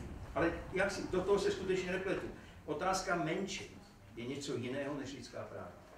Struktura států a jaké práva dají menšin, jestli se budou federalizovat nebo ne, jestli mají právo používat svůj jazyk, kam až to právo jde, to jsou problémy, které měla Itálie třeba ve vztahu k a, a tak dále. To jsou problémy, které ani v Evropě nejsou celé vyřešené, ale to bych chtěl opravdu odlišit od lidskoprávní agendy. A promiňte jenom, že vám do toho ještě jednou skočím, nepletete se do toho proto, protože by to prostě bouralo ten váš koncept, protože byste si musel připustit, že realita je velmi uh, krvavá.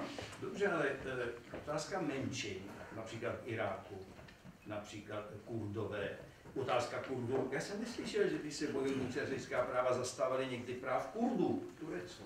Alespoň... Máme velmi mnoho rozhodnutí Evropského soudu pro lidská práva právě ve prospěch kurdských politických Mluvím ale o české zahraniční politice, než to měla být také hnutí ve prospěch Kurdů a jejich obrana. Jejich...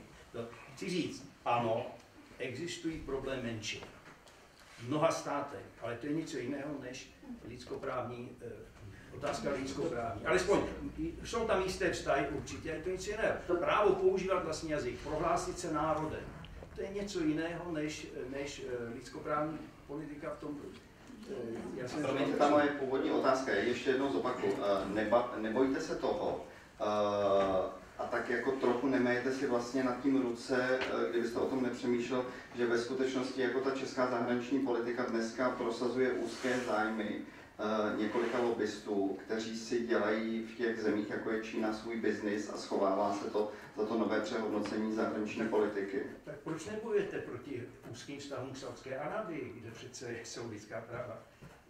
Já zásadně nebojuju, já analyzuju. Já nemám nikoho rád ani nerad. Mně to připadá trochu komické, když tady český národ se snaží jak si vykládat velmoci, která má 1,5 miliardy obyvatel, kde se umíralo na 100 miliony lidí, umřelo hlad, vykládat, jak má vlastně dělat s politikou vůči menšinám. Ta, to, so, co pak ty Tibetané jsou jenom oběti? Co pak nejsou součástí, nemají vlastní hlas? Myslíte si, že jako vyprovokovali to, co jim Čína říct, že oni mluví tím, taky vlastním hlasem, oni mají, oni mají určitou oporu, například Dalai Lama je socialista a má určitou, určitý vliv na to na všechno. Chci říct, že eh, vztah k menšinám a boj o práva menšin je jiný boj než lidskoprávní no. Pane Pehe, prosím. Já bych jenom, já bych jenom chtěl, mě, mě tam trošku zaráží to používání toho pojmu menšina, jo? to znamená, když teda Česká republika eh, by zůstala satelitem Sovětského svazu dostatečně dlouho, tak by se stala menšinou po čase a neměla by právo na to žádat nezávislost. Já, já to úplně přesně nevím. Ale Tibet přece vždycky součástí Číny v nějaké Není to pravda. Není to pravda. Je to, je to svébytný národ, který je to nikdy nebyl čínskou menšinou. Já dám slovo paní Šimáčkové, pane Přibáně. Já bych jenom chtěla zabránit konfuzi, tedy jedna kapitola listiny základních práv a svobod je právě o právech příslušníků národnostních menšin, takže opravdu jako dokonce bych řekla celý jako celá velká část lidskoprávního diskurzu obecně, to znamená rovnost a svoboda, tak celá ta oblast rovnosti je právě u příslušnících menšin. Jo, to je ostatně to, o čem třeba tady se zmiňoval kolega, to znamená, že nám se naopak zvyšuje senzitivita menšin a dokonce já bych nestavila ani svobodu a rovnost do tak silného protikladu, což ovšem píšu i v té naší knize v jedné té kapitole, protože pro ty právě příslušníky těch menšin jenom respektování jejich rovnosti je cestou k jejich svobodě. Takže bych řekla, že dokonce bych řekla, že skoro nejpodstatnější částí diskurzu prosazování lidských práv je právě ochrana menšin. Já jsem chtěl jenom dodat eh, to samé. Nemůžeme tvrdit, že otázka menšin není spojena s nějakými základními právy, není otázka základních práv, protože eh, to je prostě eh, potvrzeno. Evropský soud pro lidská práva judikuje pravidelně v těchto otázkách, takže otázky menšin jsou také otázkami základních práv, na které má ten národ. A je to spojené právě i s rovností, že, s přístupem úřadům ve vlastním jazyku a tak dále. Takže to je, um, ale, ale já myslím, že mi tady opravdu dochází k nějakému zmatku trošku, protože uh, ta otázka možná byla směřována tak, jestli když se česká zahraniční politika předem nevzdává eh, lidskoprávní otázky ve vztahu k Číně, jestli to eh, vlastně není, jestli ta změna toho jazyka nemaskuje jenom nějaké úzké ekonomické kapitalistické zájmy, kdybych to formuloval jazykem radikální levice. Takže jako jestli vlastně změna, eh, akcent na sociální práva paradoxně nemaskuje um, uh, ekonomické zájmy určitých uh, oligarchických skupin. No to vám přesně, ona proto padla několikrát. Česko by nebylo zrovna velkým příkladem ve vztahu k menšinám. Všechny menšiny jsme vyhnali, rozpadli jsme si se Slovenskem a ruská menšina se mi nezdá, že je vyřešený. Ten... A to naprosto souhlasím. Pane Péne, mě by zajímalo eh, v této souvislosti, eh, vlastně řada dneska zahraničních zemí, eh, Německo, těch zemí bychom mohli jmenovat celou dlouhou frontu, vlastně v té zahraniční politice prosazuje do jisté míry uh, opouštění hodnot nebo nějak, nějakých základních principů, o kterých se tady bavíme.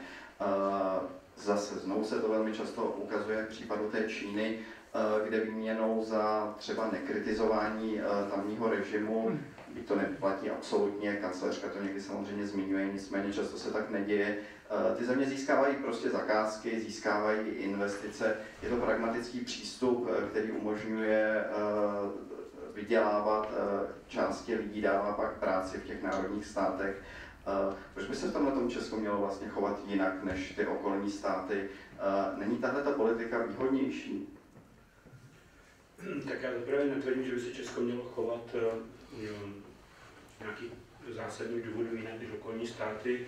Eh, pokud bychom se měli chovat jinak, tak je to proto, že máme nějakou eh, historii, která, která nás dle mého soudu zavazuje a z toho také vycházel Václav Havel a jeho, důvod, jeho důvody pro to, aby bojoval lidská práva v různých diktaturách nebo proti ním, řečeno, byl přesně ten, že říkal, my máme tuto zkušenost a když už tady byla řeč o těch menšinách nebo o těch zemích, které nemají právo eh, si hlásit se o samostatnost v rámci nějakého většího celku, tak hm, nevím, jak bych teda hm, jinak než mimo lidskoprávní eh, rámec si světl třeba snídaní eh, Mitterána s českými disidenty eh, těsně před, nebo rok před pádem komunistického režimu. Tady, tady přeci šlo o obě ty polohy a, a jsme mu za to dodnes vděční. Takže myslím si, že uh, pokud jde o ten vývoz lidských práv, tak samozřejmě uh, všechny západní demokracie musí být, musí být opatrné, protože zároveň se tam vždycky mísí ta pragmatická poloha s tou, s tou idealistickou, řekněme. Ale nemyslím si, že to musí nezbytně bránit těm, těm politikům západním v tom, aby při nejmenším řekli, toto jsou naše hodnoty a my, eh, a myslíme si, že jsou to i vaše hodnoty, protože jste k tomu zavázali v lidskoprávních dokumentech, o tom tady byla řeč chvíli. A eh, my bychom, eh, my bychom velmi uvítali, kdybyste se těmito hodnotami řídili.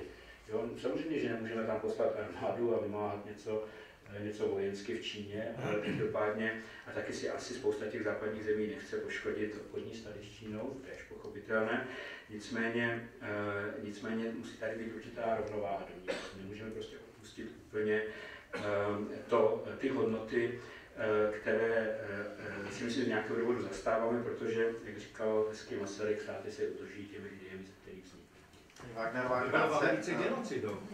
Paní Wagner, Bylo v Americe genocido Indiánů. Pane, paní Wagnerová, krátce, potom dáme slovo publiku závěrečné. A sice, a sice, já chci říct, problému toto.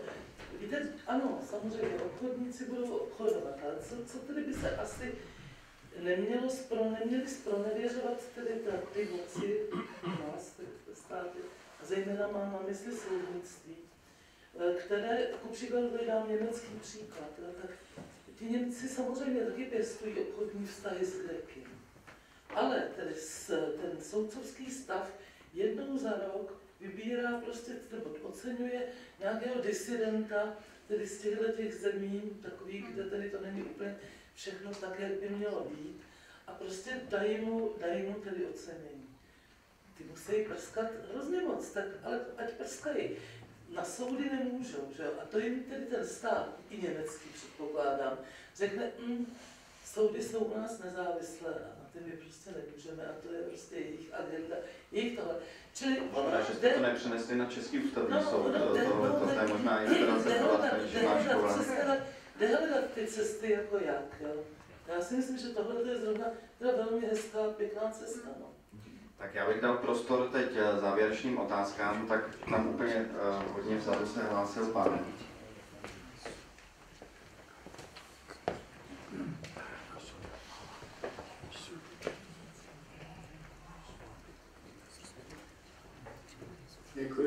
Večer. Jan Kára, ministerstvo zahraničí.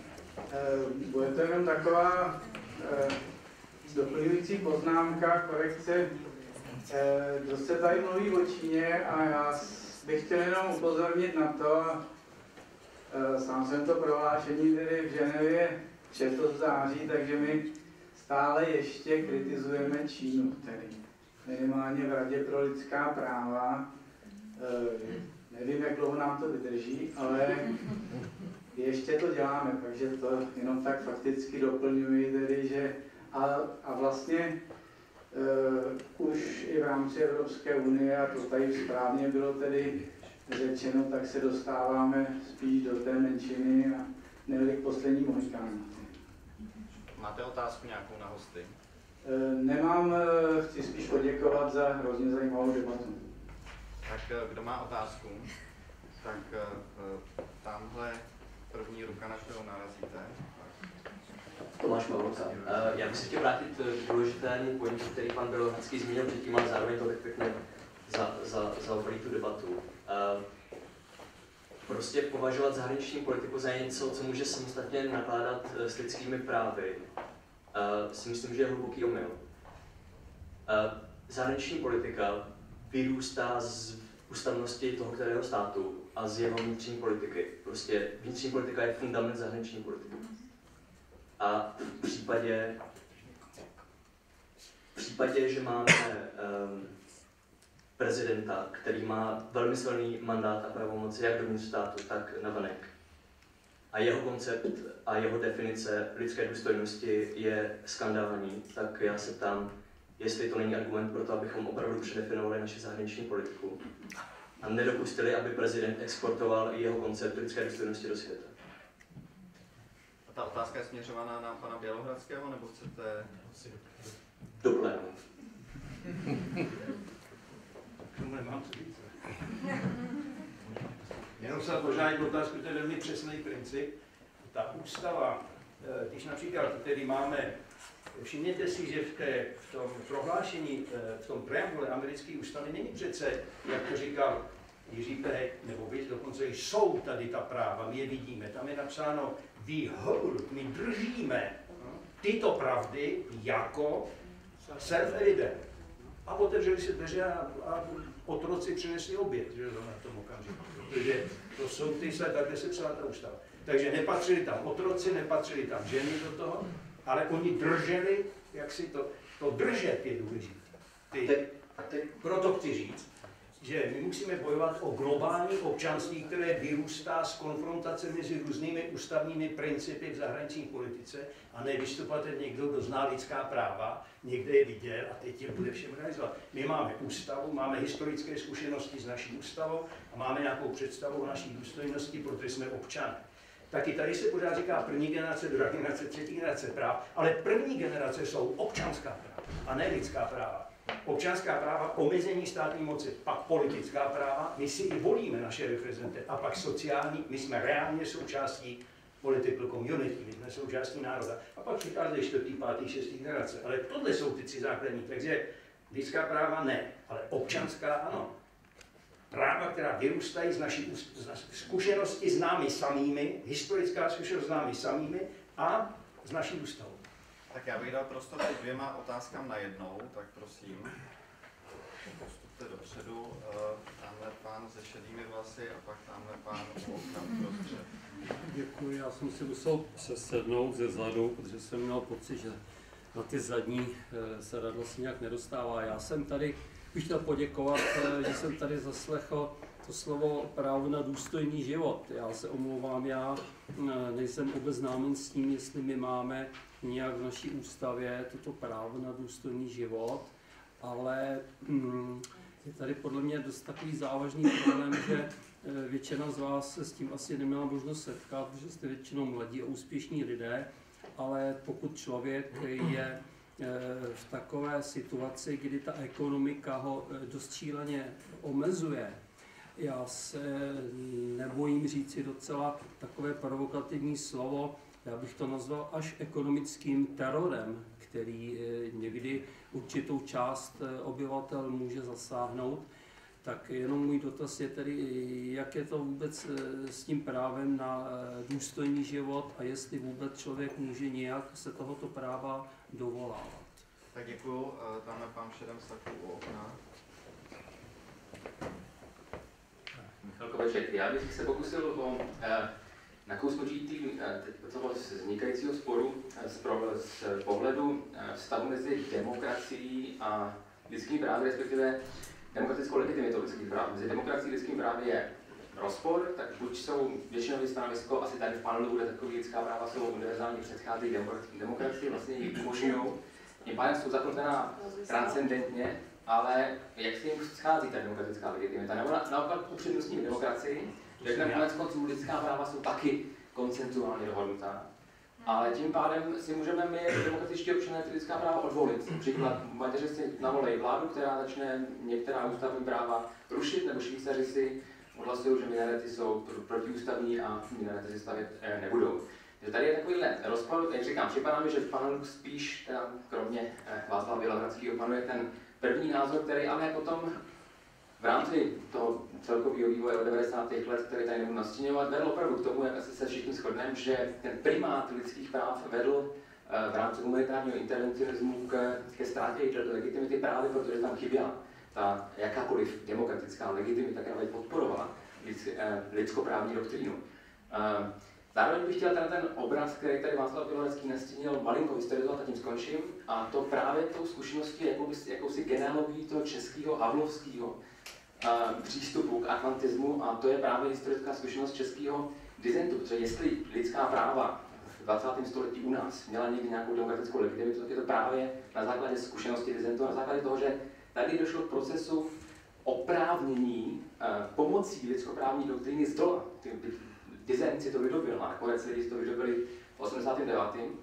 Ale nebyl to pouze oprávnění z dola, byl zároveň samozřejmě i ten důležitý intervencionismus západních vlád a západních organizací a NGO vznikající lidskoprávních uh, sítí a tak dále, které sice neudělali intervencionismus military, vojenský, militaristický, ale byl to intervencionismus ideologický, který pomohl těmto vznikajícím ze zdola vznikajícímu demokratickému lidskoprávnímu aktivismu, aby se aktivizoval a měl samozřejmě ten dopad, který měl, že vrátili jste se k tomu, kdo chcete, eh, vyjádřili poměr mezi demokracií a vůbec demokratická legitimita lidských práv. Já, ne, já, já Pardon, já uh, nejdřív poprosím paní Wagnerovou o odpověď na tu otázku právo na důstojný život.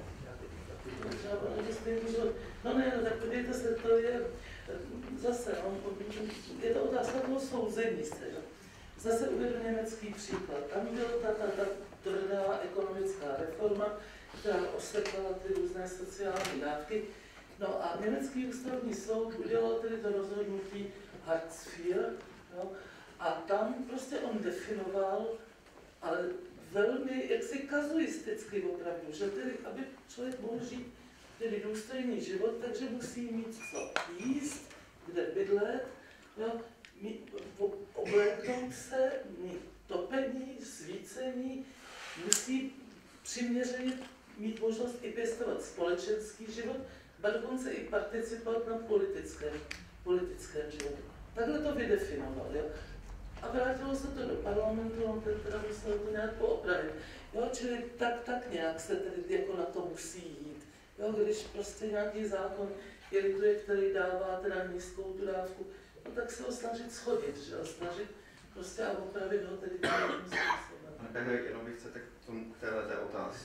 Dobře, tak nejdřív pan Přibán. Já nejdřív udělám takovou malou reklamní vsuvku, protože to byl Michal Kopeček, jeden z autorů, před ním Václav Němec, další z autorů, takže... Um, Takhle to dělají do příspisu. A, a, a jsou tady ještě další, um, a, ale vztah demokracie a lidských práv, jo, to je přesně nemůžete si odhlasovat, že se zbavíte lidských práv. Ja? Lidská práva v tomto smyslu předpokládají, vlastně, nebo demokracie předpokládá určitá základní práva. A e, to je jedno, jak jim budeme říkat. Jestli jim budeme říkat základní práva a předchází tedy každý stát, i demokratický stát, nebo jestli jim budeme říkat lidská práva, že e, se na nich shodneme, ale i když to vezmeme jenom sociologicky, nikoli filozoficky teďka, tak eh, dojdu k závěru, že lidská práva zabraňují demokracii, aby totalizovala sebe sama. To je důležité, že vlastně demokracie má tendenci k totalitě. Jo? A lidská práva tady stojí proti tomu jako struktura, která zabraňuje tomu, aby se demokracie eh, totalitarizovala. Ale eh, současně ten pro, já mám někdy pocit, a já samozřejmě ten Václavův postoj chápu, ale on je statický. Přeci můžeme začít, ano, lidská, nebo ta, ta základní práva znamenají v určitém kontextu doby, že tedy vy můžete krásně hovořit o lidskosti a nechat si servírovat otrokem čaj o páté.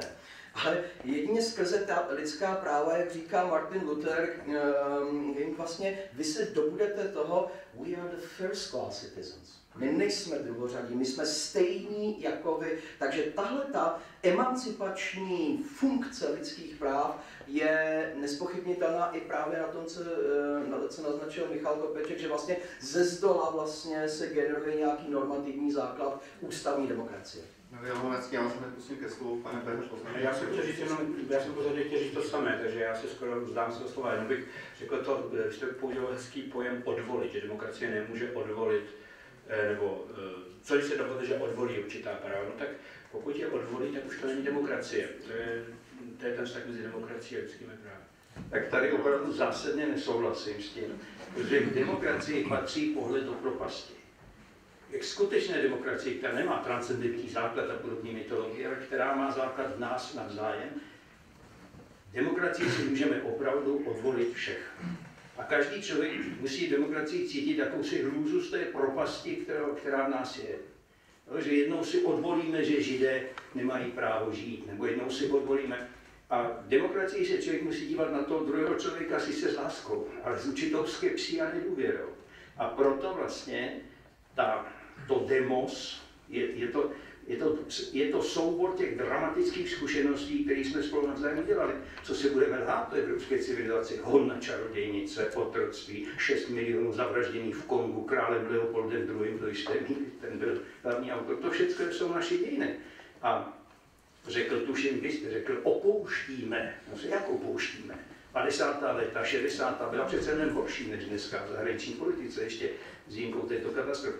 Takže pro mě demokracie jako přesvědčeného antitranscendentní je, že demokracii patří ta hrůza z propasti.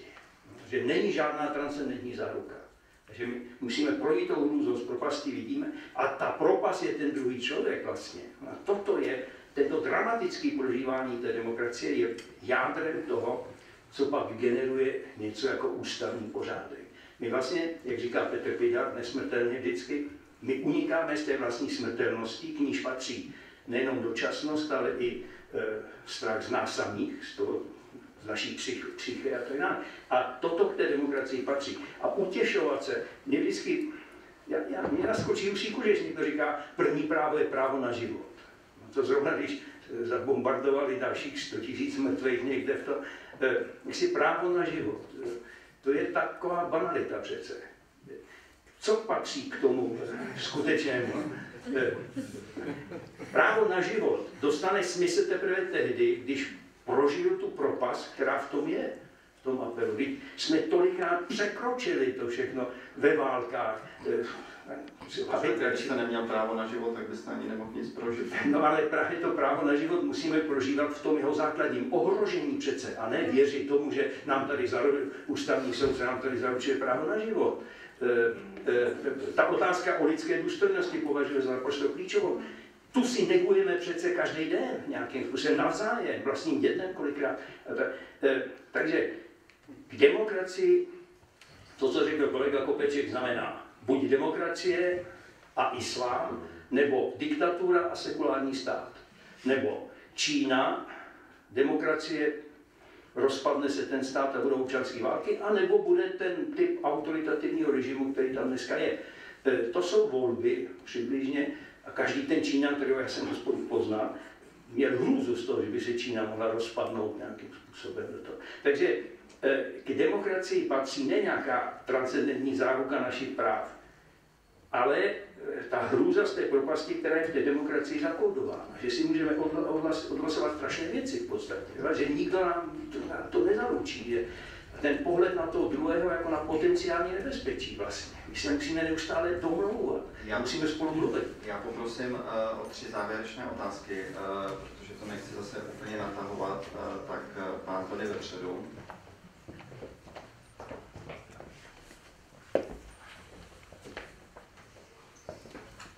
Zkuste vždycky nějak kratší to sformulovat, protože ty odpovědi bývají celkem průšvivé. Díky, já jsem Pavel Holubec. Já teď děkuji panu Třibaníkovi za intervenci, protože tady mě tak zavolala ta otázka, jakým způsobem se udělá slovo v této diskuzi a to mě přímo, jsem tady takovou asi několikrát hlásil. A je to vlastně i o technických právech, o tom, kdo má právo mluvit, jak o tom vlastně mluví Rancie, jo? Jako, jak, jak my jako vláda si vybíráme, vy můžete mluvit, vy jste disident a vy jste tady někde v Prah. Jo, tak to je tak autoreferenčně a otázka vlastně autoreferenčně. Já myslím, že lidská práva kladou sami sebe. Jo, a že to, co tady zaznělo, když byla vlastně ta diskuze o tom, která práva jsou základní, tak já myslím, že v té listině napsané jsou nedělitelná.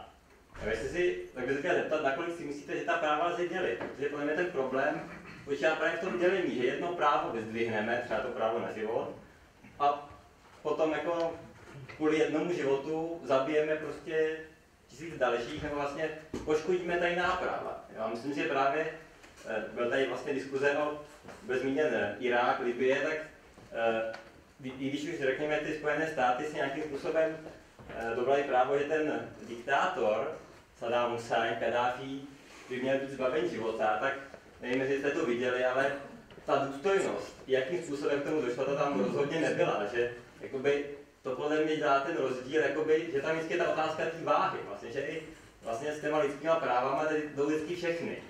Jo, že jedno právo a teďka musí přijít ta diskuze zvážit. Tak děkuji. Uh, další otázka, prosím. Tak pán tam vzadu u okna. Já bych chtěl možná eh, pro případnou příští diskuzi na podobné téma se zeptat, jestli nemáte pocit, že jsme se trošku eh, málo drželi dneska eh, toho počátku, který tam byl v tom, v tom hrabalovském příběhu o, tě, o, o tom kanci.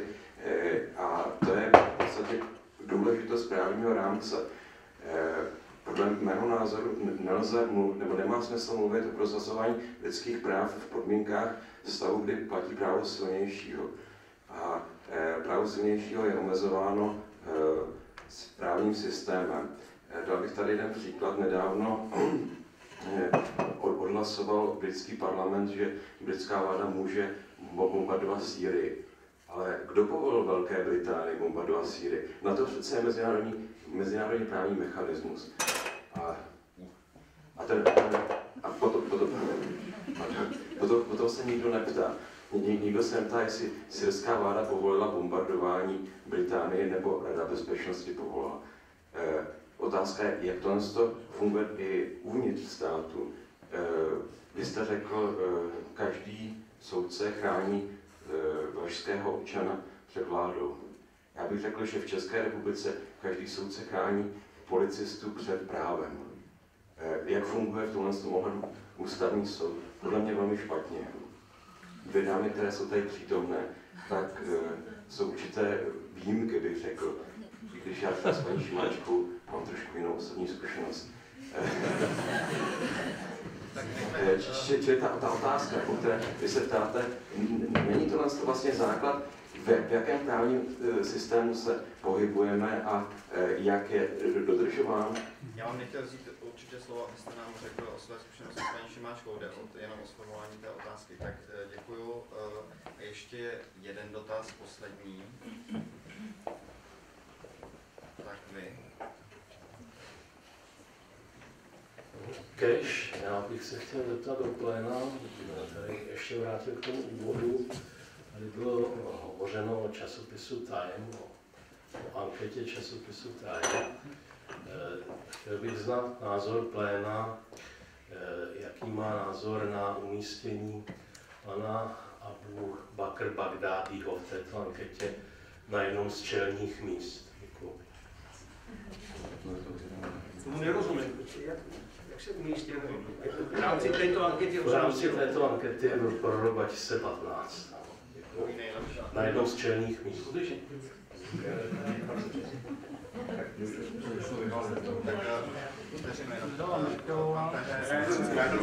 Já jenom zareaguju na tu vaši otázku, na tu otázku nedělitelnosti lidských. Tak eh, tady, tady samozřejmě ten Time uděluje eh, tento jaksi, titul osobnosti roku nikoli na základě toho, jestli je někdo 100% eh, dobrý nebo špatný, ale jestli ta osobnost je výrazná, tedy jak poznamenala svět. Oni samozřejmě, jestli se teda, jestli se teda, eh, to asi těžko, ale jak se kloní, jak se kloní, uh, jestli se kloní k tomu, uh, že teda vykonala ta osoba něco dobrého nebo špatného, to se dozvíme z toho odůvodnění. Že? Takže v případě Merkelové si myslí, že ona si to zaslouží, protože je to tedy pozitivní uh, osobnost a v případě toho uh, Magdáního je to, je to naopak. Pokud je tu nedělitelnost lidských práv, tak tam bych jenom řekl, že to je skutečně zase něco, co vychází z toho sícenského pojetí světa, jo? že tedy oni skutečně vnímali ta základní lidská práva jako něco, co je vzájemně provázáno, stejně jako je, eh, když jsem to tady jednou zmínil, zákon gravitace provázán se všemi ostatními fyzikálními zákony, bez kterých se vesmír zhroutí, tak eh, oni to chápali eh, takto, tedy že to je jakási stavba a tu, když ní vymete jednu cihlu, tak spadneš. Jo? Ale samozřejmě v praxi to funguje potom trochu jinak a ty lidská, lidská práva se do určité míry aspirace Eh, která se neustále jakoby obnovuje a, a je testována v nových sociálních kontextech. Tak paní Wagnerová, já bych vám dal prostor k tomu ústavnímu soudu, protože vy jste nad tím tady povzdechla, jestli to tak skutečně je, nebo není. To byla ta jistá kritika ústavního soudu. Jasně, já jenom bych se toho k tomu, k té osobnosti, jenom řeknu zkušenost, když si to bylo 90. léta, tady taky se lidové rovině, tuším, ptali, na to, kdo je, kdo je nejvlivnější osobnost. Já jsem tehdy napsal, že nejvlivnější v té době byl opravdu Vladimír Železný. No samozřejmě, že jsem tím nemyslela, že ho teda nej, nejvíc miluju, naopak na to bylo. Ale prostě Mladá sláva, on měl v tu dobu největší vliv. Každý, na každou neděli prostě promlouval národu a ten, ten se podle toho řídil, že? No, takže teda patrně teda ten tady bude něco podobného. No, ale eh, teda pokud jde o fungování ústavního soudu, no, no víte, tak samozřejmě skládá se z 15 lidí, a z, z nich ne všichni mají stejnou citlivost, řekněme, pro, pro práv citlivosti, práv citlivosti. To je jedna věc. No a eh, takže teda nakonec vlastně je to vždycky tak trošičku otázka náhody, no. Jestli, jestli se dostanete do ruky prostě člověku, a teď to myslím i sebe, a ještě v okamžik, kdy je člověk opravdu v té nejlepší kondici, protože připustme si, že i ti soudci nemusí být každý den v té úplně nejlepší kondici a že by si třeba sám někdy všimli něčeho, čeho si třeba ten mizerný černý den, kdy se všimli, prostě nevšimli. Ale on řekl taky, že vy soudci chráníte policisty před právem. No tak to teda jako já opravdu jsem nikdy nedělala. A můžu vám říct, že u mě tedy policisti měli velmi tvrdý život. A to jsem teda mali, protože... Paní, paní soudky, jestli se tady mají zmiňovat dvě jména z ústavního soudu, o kterých to neplatí, tak je to Wagnerová a Šimáčková. Čili to nebylo svěřováno. No, tak to doufám, že tak jsem nikde, nikdy ne, ne, neudělala motu, protože na to jsem byla teda opravdu velmi, velmi, velmi citlivá, protože Marná Slava, prostě ty policisti jsou moc, a teda opravdu taková ta reálná moc, kterou ten občan, jak si pocítí, velmi zůstá na vlastní kůži, že jo. No. Já jsem právě lekla, že se na mě zlobíte, že jsem v nějakém vašem casu rozhodla špatně nebo nespravedlivě, tak hned jsem si projížděla ale to je pravda. případy, kde, kde mám špatné svědomí, ale musím říct, že eh, Zrovna teda poslední takové větší dva moje nálezy byly právě proti policii České republiky. Jednou proti cizinecké policii a jednou proti nějakému policejnímu zásahu v bance. Takže eh, zrovna teda teď se na mě, myslím, Pan policejní ředitel dokonce jednomu mému kolegovi telefonoval velmi rozezlen, tedy ve vztahu ke mně, takže jednomu z mých kolegů, kteří dobře asi kamarádi s policejními řediteli. Myslíte nějakou vašemu spolupracovníkovi na ústavním soudě, telefonoval policejní prezident, stěžoval na nějaké tak, vaše tak, rozhodnutí? Tak, právě, že, že, že vlastně jsem teď vydala dvě rozhodnutí přímo proti policii, nikoli tedy, že my většinou rušíme rozhodnutí soudu, ale tady to byly tak intenzivní zásahy přímo od policie a ta ještě na to není zvyklá. Ty soudy už jsou zvyklé, že jim něco rušíme, ale Ještě, že nechtěl potom přítel, jak by vám nasadil pouta. No, musím vám teda říct, že zrovna já jsem měla ještě jako advokátka zážitek a to jsem si řekla o té důstojnosti třeba ve služebně cizinecké policie v Brně když jsem šla se svým klientem cizincem na nějaký výslech, tak skutečně na zemi ležel takový řetěz a na jeho konci byla pouta. A mně to přišlo tedy jako, co nám tím chtějí sdělit, ta cizinecká policie. Já bych jenom možná tady dodal, že všichni... Pan si vzal slovo. Ano, no. Že, že všichni, kdo čtou Foucault, aby měli také číst nálezy soudkyně Šimáčkové. ale ale uh, um, ještě k té demokracii a nedělitelnosti. Um, Václav, nemáš pravdu, protože i v Kleisténovi, v té antické demokracii, která byla úplně jiná, tak ta demokracie předpokládala dvě základní práva pro svobodného občana. Promluvit, svobodu projevu a být slyšen. A toto ani atenská demokracie, která ne, nemohla nijak uh, odhlasovat, že tato práva na příště nebudou platit. Takže tím se dostávám k tomu, co říkal Pavel Holubec, takže ta práva jsou vždycky sebereferenční. Ale to je ta jedna věc, že ona, oni se generují ze sebe, ale potom zapomeňme na transcendentno, protože tady vždycky bude nějaká Kateřina Šimáčková, vždycky nějaká Eliška Wagnerová, které vám v té ústavní demokracii nakonec řeknou, kde jsou ta práva, kde jsou ty meze té moci a které vlastně díky těm ústavním soudům my vlastně vidíme, jak ta práva jsou dynamická, ale zároveň důležitá, i když nejsou zrovna univerzální. Tak eh, dámy a pánové, eh, já si beru eh, nakonec, nebo osobuji si právo tuhle tu debatu ukončit. A vy máte ještě právo odchytnout hosty, jak budou vycházet. Všem vám děkuji za to, že jste přišli a ještě skutečně na závěr panu Přibáňovi vy jste chtěl něco říct, jsem měl pocit. Já jsem chtěl taky poděkovat ještě, jestli můžu potom. Nebo vy budete mít poslední slovo? Já už jsem poslední slovo vyčerpal, já jsem vám chtěl popřát akorát hezký advent, takže... Děkuji moc. Já bych chtěl především poděkovat, já bych chtěl poděkovat mnoha lidem. A chtěl bych poděkovat Ondřejovi Kundrovi z Respektu za to, že to celé takto dal dohromady. To není domluvené tohle. Chtěl bych poděkovat knihovně Václava Havla, že nás takto hostili a chtěl bych poděkovat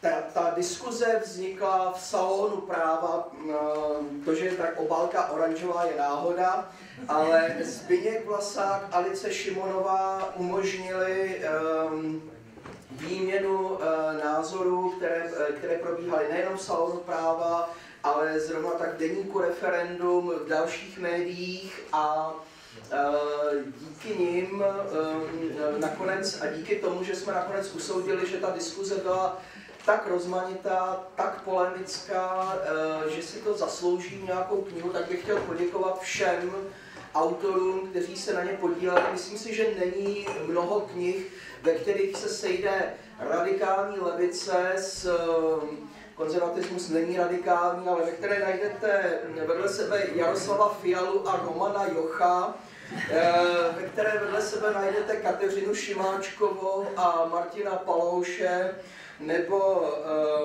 Elišku Wagnerovou, Václava Bělohradského, Velice si toho cením a děkuji tamhle tedy sociologickému nakladatelství, že tu knihu umožnilo vydat a vám všem za to, že jste si dnes našli v tom adventním čase schánění nákupů a tak, že jste si našli čas na tuto diskuzi. Děkujeme moc. Žádný sponsor.